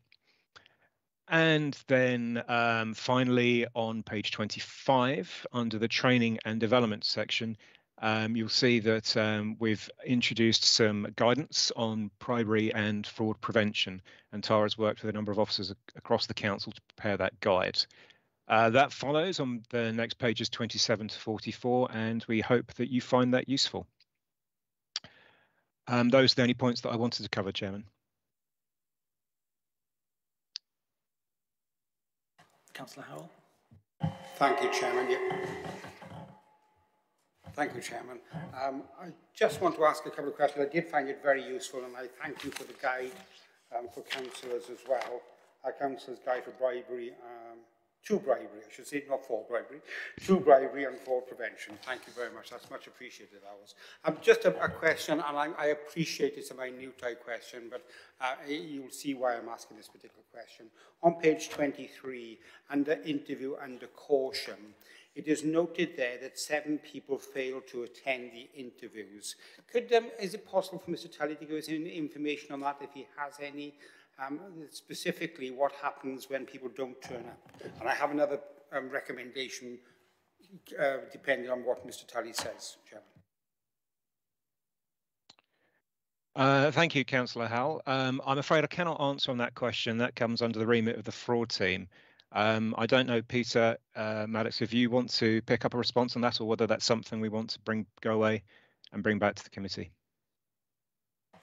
Thank you, Jonathan. Um, I think I'd probably best go away and speak to, to my fraud manager and see what she has to say on that and provide a response, if that's okay. Uh, Chairman, thank you very much indeed for that. I only asked, I, I asked that specifically because um, if people don't turn up, I would like the portfolio, sorry, the lead member for finance and the lead member for housing or anyone else that um, uh, this might be relevant to. If they are in seat of benefits and they don't turn up for interview, we should look at withholding those benefits until that interview um, appears. But I appreciate, Chairman, that's a very, very specific clause to do with different portfolios. But I would just like the portfolio for finance, sorry, the, lead member for finance who's here to consider that when he is um, looking at things in the future. Thank you, Chairman. Councillor Williams. Thank you, Chair. Um, and just for ambiguity as well, given what's often said about councillors, I did wonder if it's a councillor's guide to detect bribery and fraud prevention. it almost sort of implies it's a guide to help us do it, which obviously I would expect not one councillor in the country to be actively doing right now. Um, so yeah, maybe a maybe a change of change of name and uh, potentially a change of suit actually on the on the photograph, um, given the yeah. On to more serious matters, on page 34, it, this is one of, of interest and it, it's, it reads, you are responsible for ensuring that your authority adequate, adequately manages its risks and that local residents receive value for money. And I'm just wondering how how you judge that because value for money is are we is this an in, interpretation purely on a financial basis? Because I think it's quite a value for money is quite a subjective thing. You know what one person puts strong emphasis on another wouldn't. Um, and we obviously have a value for money strategy. Um, so I'm just wondering where's the benchmark would you advise for that? Or on this basis are we simply sort of cost effectiveness So um, as regards the risk of fraud, we're, we're doing quite a lot of work across the authority identifying the key risk areas. Um, and as part of that, um, we'll be trying to put a, a value on um, each detection of fraud and each possible uh, saving that that might make. Um, we've still got some way to go. We're going to be doing some benchmarking with other authorities as well to see what they're doing.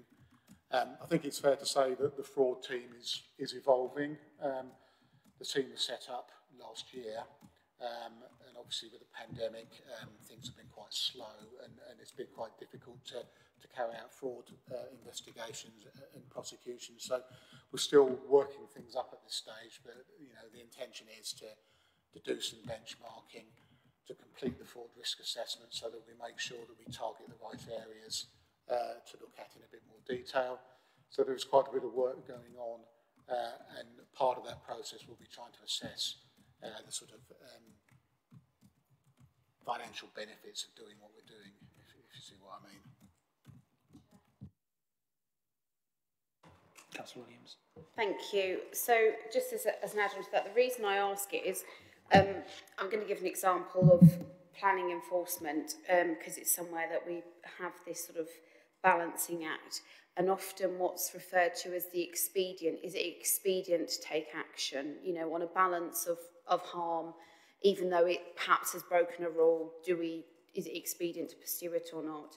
Um, I have to say that when it comes to such matters, fraud prevention and detection, um, expediency, it, you could very easily go, well, it's X amount is going to cost us more to pursue it, and it sort of gets wrote off and justified.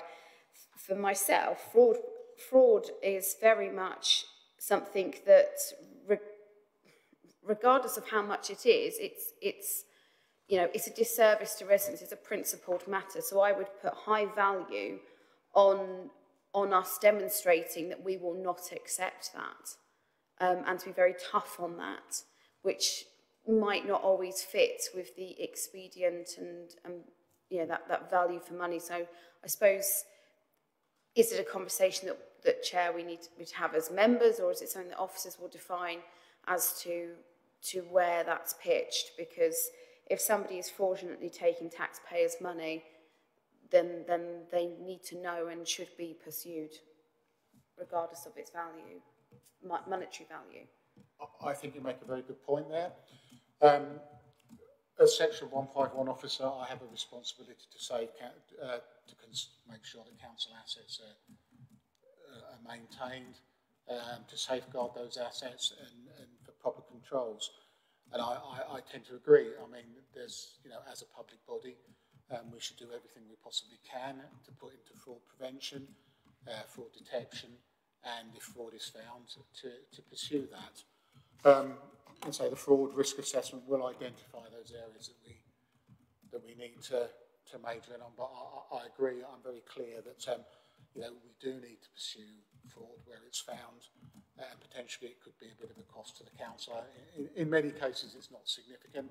We have we have pursued frauds, uh, um, and we have um, put money into those investigations, um, even where where you know potentially there's not a lot of money to be made from pursuing that. So I think there is a public duty on the authority to pursue fraud and, and do everything we can to make sure the public purse is protected. Uh, and that is certainly my intention and I believe be members' intention that we pursue that going forward. Thank you, Chair.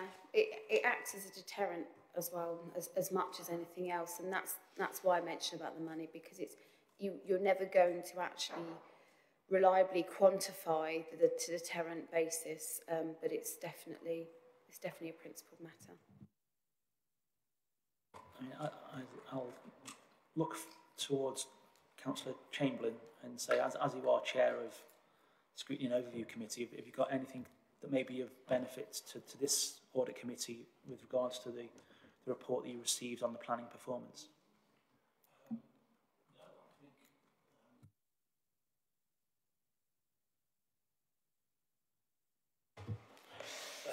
No, I think I think we actually felt uh, that significant improvement had been made, um, and we really asked that that should continue and that they would come back to us uh, in another six months with a further update just to let us know how things were going. Um, but uh, uh I think there was a degree of confidence that things had uh, improved quite significantly over the over the last quarter that we considered. Thank you. There any further questions from the committee? I see no further questions. So um, the committee is asked to note the report from internal audit and I thank Jonathan for his attendance and, and presentation. And we will move on to uh, agenda item nine, which outlines the mid-year Treasury Management Report. May I ask Peter Maddock to present this report.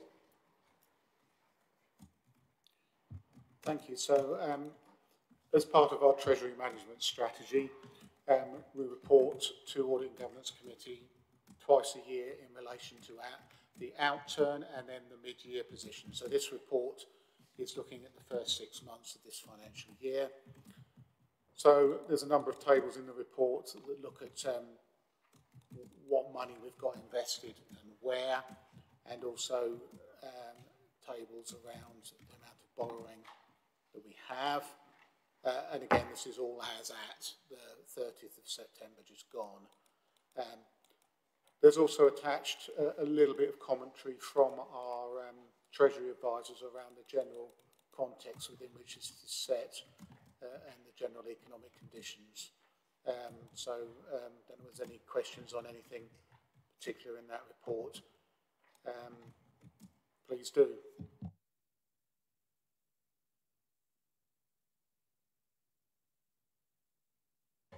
Councillor Williams. Thank you, Chair. I think this follows on very much from our conversations at the last audit meeting, and I, I thank um, officers and Mr Maddock for the report, particularly the section on liquidity. Um, I'm just looking at page 51 on the maturity structure of the borrowing, just noting that, you know, a substantial figures are repayable on, on a very short-term basis, and this and this does get raised sort of in, in various points. I'm just wondering, given the changes as well, what position we're at, because we are getting into the latter end of, of the year, what our refinancing plans are, um, given it is multiple millions that we're going to either have to repay back or refinance.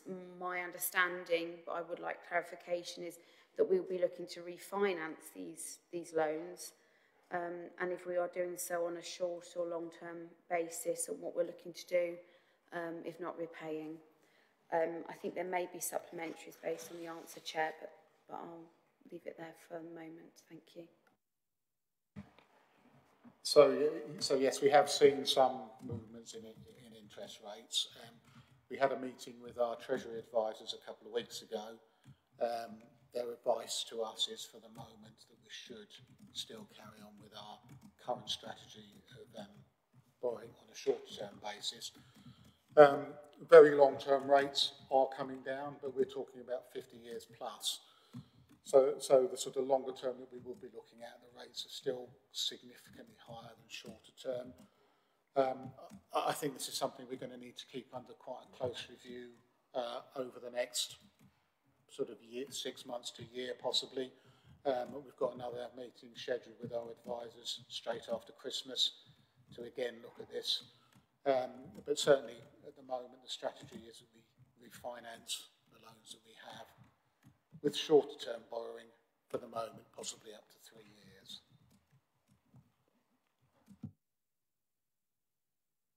So we won't be, we will be looking potentially to, from what you said, to refinance that. So we're not repaying that in that in that loan period. So we we've got a strategy where we're going to be looking to keep refinancing.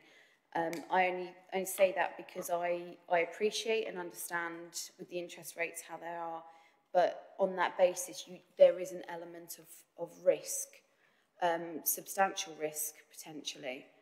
And I'm just wondering how we're how we're balancing and offsetting that because it's something that you know unforeseen things do happen. I mean, and later items and what have you were, ref were referring to the reliance on um, COVID vaccines, um, but now we've got a new variant. I think actually it does fall in this Appendix B, Chair, on page 57. Um, so that in itself, even though this meeting was in, in September, it, it was very, re it's, it references, so obviously has taken into consideration uh, the COVID vaccine rollout and the impacts that would have. We have a new variant now, um, so when that gets reviewed, that's, you know, we all hope that new variant does not have consequence, I should emphasise, but there are so many unknowns in this current climate that surely that increases the risk of, of this strategy. And I'm, I'm wondering whether that's something, Chair, that we, we should be very mindful of.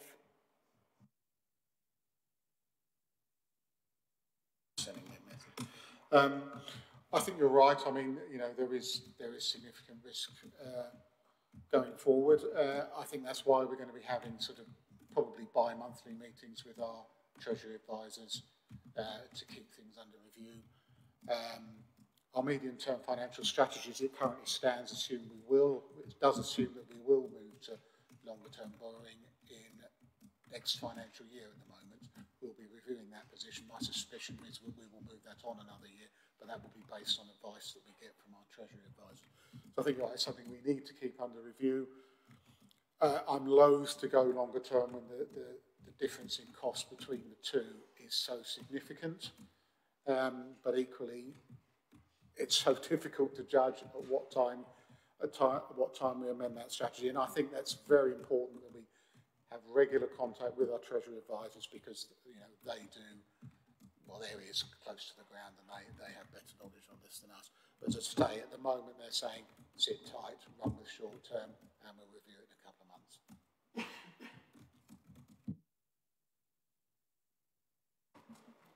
I, seem to recall from an, an earlier year that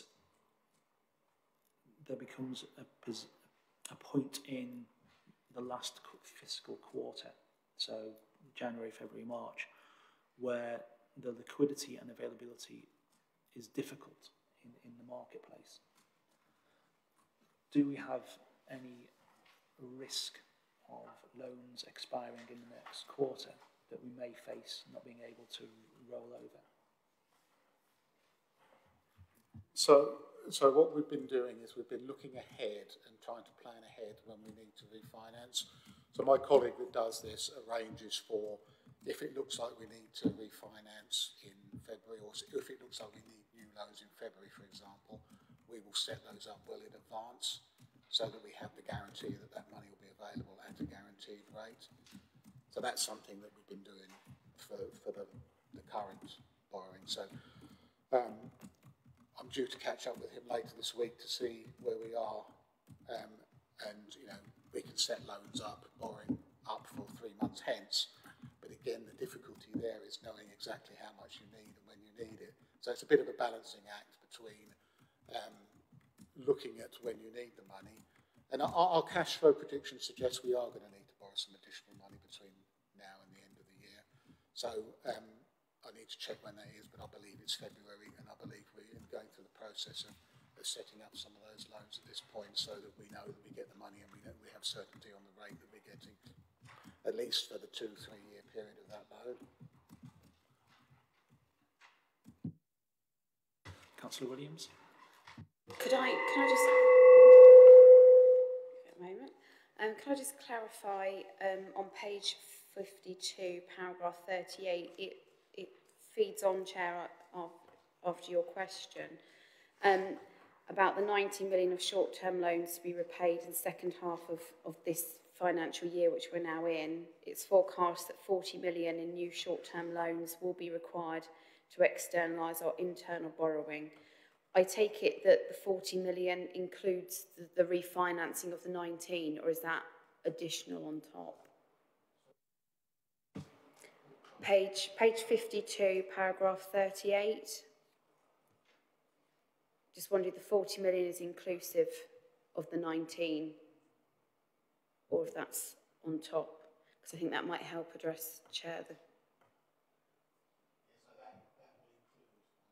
So so we're looking at going to, we're going to need to borrow as a council 40 million pound um, in the next few months, essentially. Yeah, I, I mean, we've been reviewing this position even since the report was written, and I don't think it'll now be as much as that. But what I, let me double check to be absolutely certain that's what we're saying. But I, am due to speak to our Treasury um, accountant. Uh, I think it's uh, Friday. Chair, in the report that you circulate, could you provide those figures, please? Yeah, I think if, if you can, when you provide the update on the early one, if you can provide an update on what the situation is, so that it's, it's very clear what to roll over, what's new, and the value that's required to be uh, financed in, in the final quarter. Any, any further questions? No further questions from the committee. Um, so the committee is asked to note the report and uh, we'll move on to agenda item 10, which is the risk management report, which outlines the current processes for managing risk for the local authority and proposals to further improve risk management across the council. May I ask Anne Ainsworth to present her report? Thank you very much, Chair, um, and thank you for the opportunity to present this report to you today. So um, what we've presented to committee today is the high-level strategic risk, risk register for the Council. So these are the risks that are corporate, that are strategic, that would have an impact across the organisation and for our communities. And also that if that risk, if, if that action occurred, it would be significant. It would have significant implications if that risk is not managed properly. So these are the risks that, that you have in front of you. There are obviously uh, many other risks for the council, um, risks that sit in particular services or around projects, for example. Um, those risks are less strategic and the impact of those would be less significant if, uh, again, if they were not managed properly. So this is very much that high level strategic risk register that you have in front of you. Um, as mentioned in the report, we have a system called 4Risk, and each risk owner is responsible for updating um, their risk and uh, inputting risks and, uh, as I say, keeping them regularly updated as, uh, as a risk may develop. Um, as stated in the report as well, there are a couple of things that we are suggesting that we do over the next few weeks and months to continue to improve how we address risks and how we manage risks across the organisation. And I just wanted to bring these to, to committee's uh, attention. I'd be grateful for any comments on these.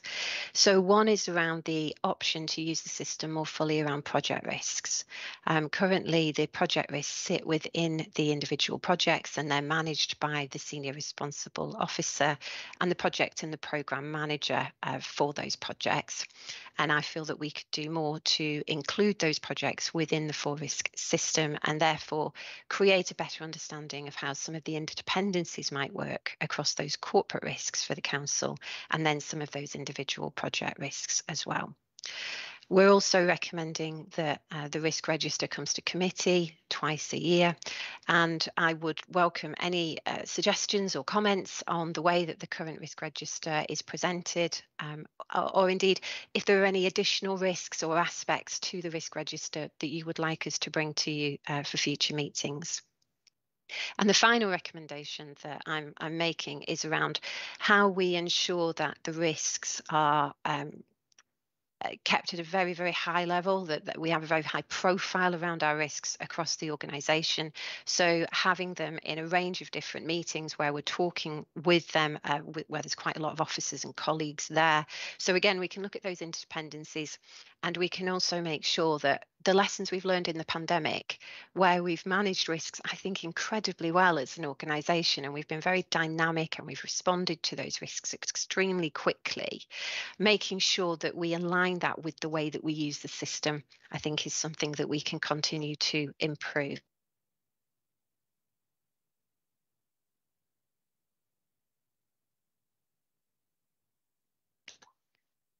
My apologies, members. I think I lost you there um, on the system. My apologies. I, I, can I just check? Can everybody hear me again now? Yep, we can hear you. It's fine. Sorry about that. Um, so that was all all I wanted to to present. Chair. Happy to take any questions, all I would say is um, there may be some questions that might be specific to uh, some of the risks or some of the services um, included in the risk register. If that's the case, if we could take those questions away, please, and have a conversation with the risk owners or indeed the head of service and be able to provide a, a written and detailed response and back to committee if there are any questions of that nature. Thank you, Chair, and apologies again for that interruption. Councillor Howell. Thank you, Chairman. Thank you, Chairman. Chairman, I'm just going to say very quickly on one and then a general question, um, if you don't mind, with regards to um, failure to meet targets for building new affordable housing and failing to spend the right to buy receipts. I think that's excellent what's been done there, and I just want to say well done on that one. I won't ask any more. I'm not asking questions. I just it's a topic that um, members know I often speak about, so I'm very pleased to see that. Uh, just a general question, really, um, and I, this is because I run a couple of risk registers myself in, in, in another capacity. Um, one of the biggest risks we've found um, is single point of failure. Uh, if I use that as a very specific term, and I can see you nodding your head. So can I just ask, have we identified single points of failure within the organisation and are we doing something to address that? And I appreciate sometimes it's very difficult to address that because of the very nature of, of the subject area that they are specialised in. Thank you, Chairman. Thank you. Um, yes, if I can answer that question. Um, yes, we, we have identified um, a number of single points of, of failure that there may be across the council or indeed in specific projects. Can I take that away and provide a more detailed response on where we've identified those and the way that we are looking to mitigate and, and address those? I'm more than happy with that, Chairman, yeah, but it's the fact that they've been identified and there's a plan of action is what I was more interested in. But yes, I, I'd be quite happy for that as well. Thank you, Chairman. Councillor Harvey. Yes, um, thank you, Chair.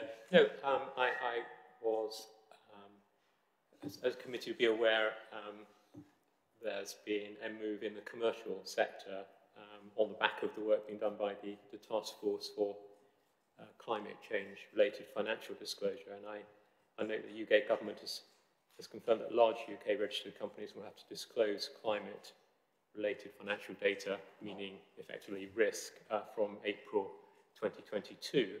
Um, and, and, given that we are quite a large organisation, maybe uh, we're not under a statutory organisation, uh, statutory obligation to look at that as a specific task. But I wonder whether um, that is somehow coming down the road in some shape or form, and we should we should be ahead of the curve on that. Thank you. Thank you.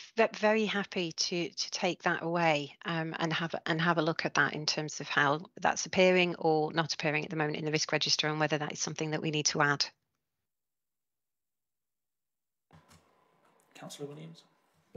Thank you, Chair. Um, just just a few points on. I think um, I would be in agreement with with the words around the audit of accounts on page 68 and not wishing to rerun any of that. But um, yeah, I think hopefully we'll get to a point where we can change the colour on that and make it down to yellow. Um, but for now, I think it is in its appropriate place. Um, on page 69, I do think that this may already be included, so I'm just seeking some clarification because it says about careful ongoing monitoring of housing supply by the five-year land supply officer. Um, but not just looking at housing supply, um, do we also look at inspectorate decisions and appeals? And I'm just thinking in particularly, obviously there's the appeal at Sawston, Mill Lane Sawston, where the land supply is being challenged. I'm just wondering whether we, we look at sort of trends in that as well around how inspectors are taking COVID into consideration or, or anything like that. Because obviously it is a, the planning inspector in themselves, as I think the council knows to, a, a severe cost, is, is a risk un, unto themselves to the council um, and just wondering if that's something that we are looking at. Um, uh, and I would say on page 70, insufficient people, resources and skills. I'm wondering whether whether really that should be should be read. So I'd be interested to know more details about how we've come to that conclusion. Just because um, myself, Councillor Howell and indeed Councillor Williams, we sit on the staff and Employment Committee, so we know about the high dependency we have on, on agency staff and also that we have had service interruptions on, on waste collections and things due to insufficient drivers. So um, I'm just wondering that seem we and I'm not saying we're not doing lots of things, but it does seem in that climate and while residents are experiencing that odd that the, the um, risk is quite low. The governance of shared services, I mean, I think that is that is clearly a risk, and I know scrutiny is doing a, a lot of work on that. Um, I, th I think I think we possibly need to do do more to sort of try and communicate through the council and maybe to this committee as well? Because um, I know there's been an awful lot of work done by, by scrutiny and some members sit on both but some don't. And just to understand, um, yeah, it says the court is shared services, member lead meetings and things like that, if there's documentation or minutes or something that can help um, councillors make that accessible to them, I think would be very helpful, Chair. I think that's me done. Councillor Sample. Uh, thanks, Chair. Uh, yes, I think in terms of the, how this is presented, um, it, it, it, might be helpful to be able to see the, um, the figures of uh, likelihood and impact that go into creating the the, the, uh, the total um, risk that's been uh, risk rating that's presented in the in the report. Um, the, the other the other thing is I wonder whether there are, in terms of learnings from this, what you take away from it, um, just making sure that the uh, broad themes that come out from this aren't missed. So to me, it seems as though process change is a big issue. Now, we've talked about that with respect to some of the uh, changes in the processes around the uh, creation of, of accounts. Um, IT is clearly an ongoing one. Um, and I think thinking about how we as a council are able to adapt and manage successfully changes in process across the board, I think would be a useful, an example of a useful theme to, uh, to reflect on and return to. And then I think my final point is really around, it's just a very specific one. I, I don't want to spend too long on it, but on the audit of accounts, I think in terms of um, the ongoing issues and the uh, risk control mitigations, I think we perhaps ought to think about including uh, something there about the, um, the uh, upcoming process for identifying a new auditor uh, through the PSAA and the need for the council to assert itself uh, as far as possible in that contract as to the uh, service that we would expect from the future auditor.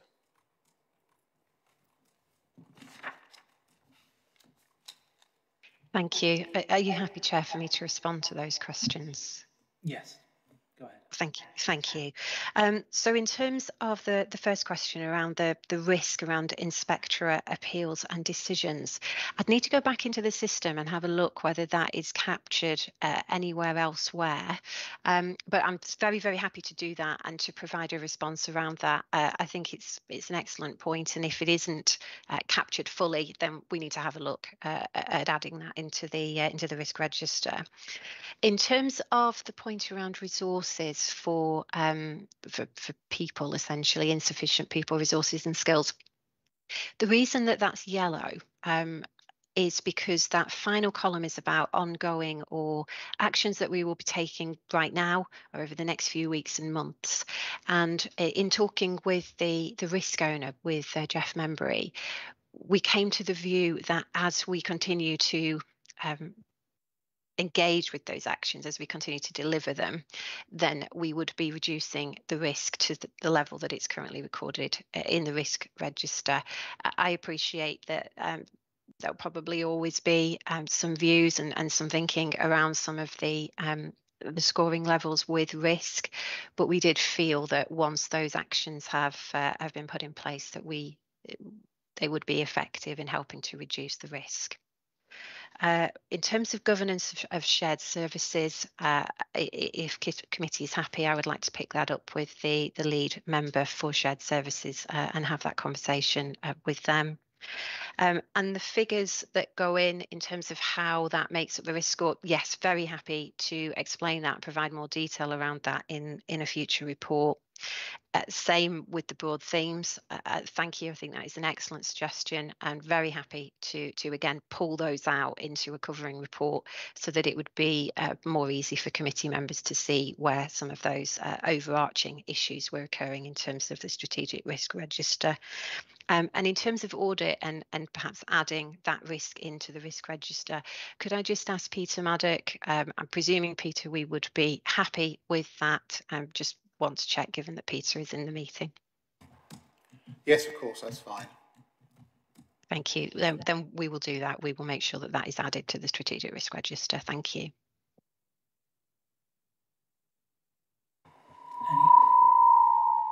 Any, any further questions from the committee?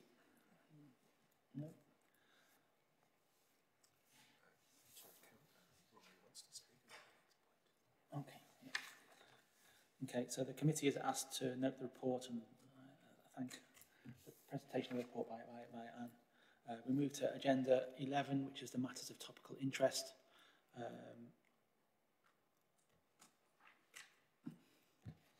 It wouldn't be an audit meeting, Chair, if I didn't mention the toolkit. Um, I thank you for sending round what you what you did, and I've I've looked through it. I, I genuinely do think, especially with what's gone on, while I know I may get groaned at by some by creating homework for ourselves, I, I do think it's equally important that we make sure we equip ourselves in, in the most appropriate way. And so I, I would like to see, I know we're going to explore costs and things like that, but I really would like to see us take, now we've seen what it can do, to take that forward. Um, and uh, I think that would be something that we can do to, you know, help give assurance to people that we're taking the matter seriously and, and um, every day is a school day. Uh, it's, it's a reminder for me to follow up with EY. I, I, I did contact EY and ask them for the information around the toolkit. They provided it. I did, I did ask for a timetable as to when it could be possible for us to attend the toolkit and presentation and get a real thinking around it. Uh, but with the audit, I haven't had a response. Um, but I will take this from the following this meeting and, and follow up and see if I can get some sort of timetable together. Appreciate, appreciate the Thank you, Chair. Uh, I believe that, that Rory would like, like to come in and, and, and raise something as well. Thank you, Chair. Chair, very briefly, I just wanted to let the committee know um, and would ask Patrick to record this in the minutes that there's been no use of RIPA powers um, in the last quarter and since this committee last met. Um, I'm guessing that there aren't going to be any questions as the powers haven't been used, um, but um, happy to take any if there are. Thanks.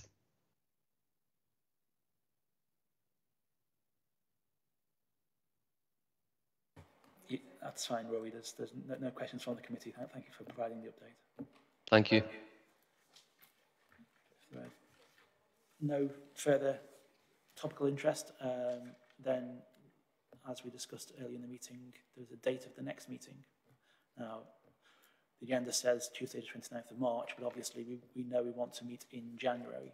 So given the discussions that occurred with internal and external auditors around deadlines, requ requirements to meet deadlines, and we have a, a proposed drop dead date of the 14th of January, for members, which date would you like to? Chairman, with your permission, can we ask if Patrick could put out a doodle poll and we can sort it out that way?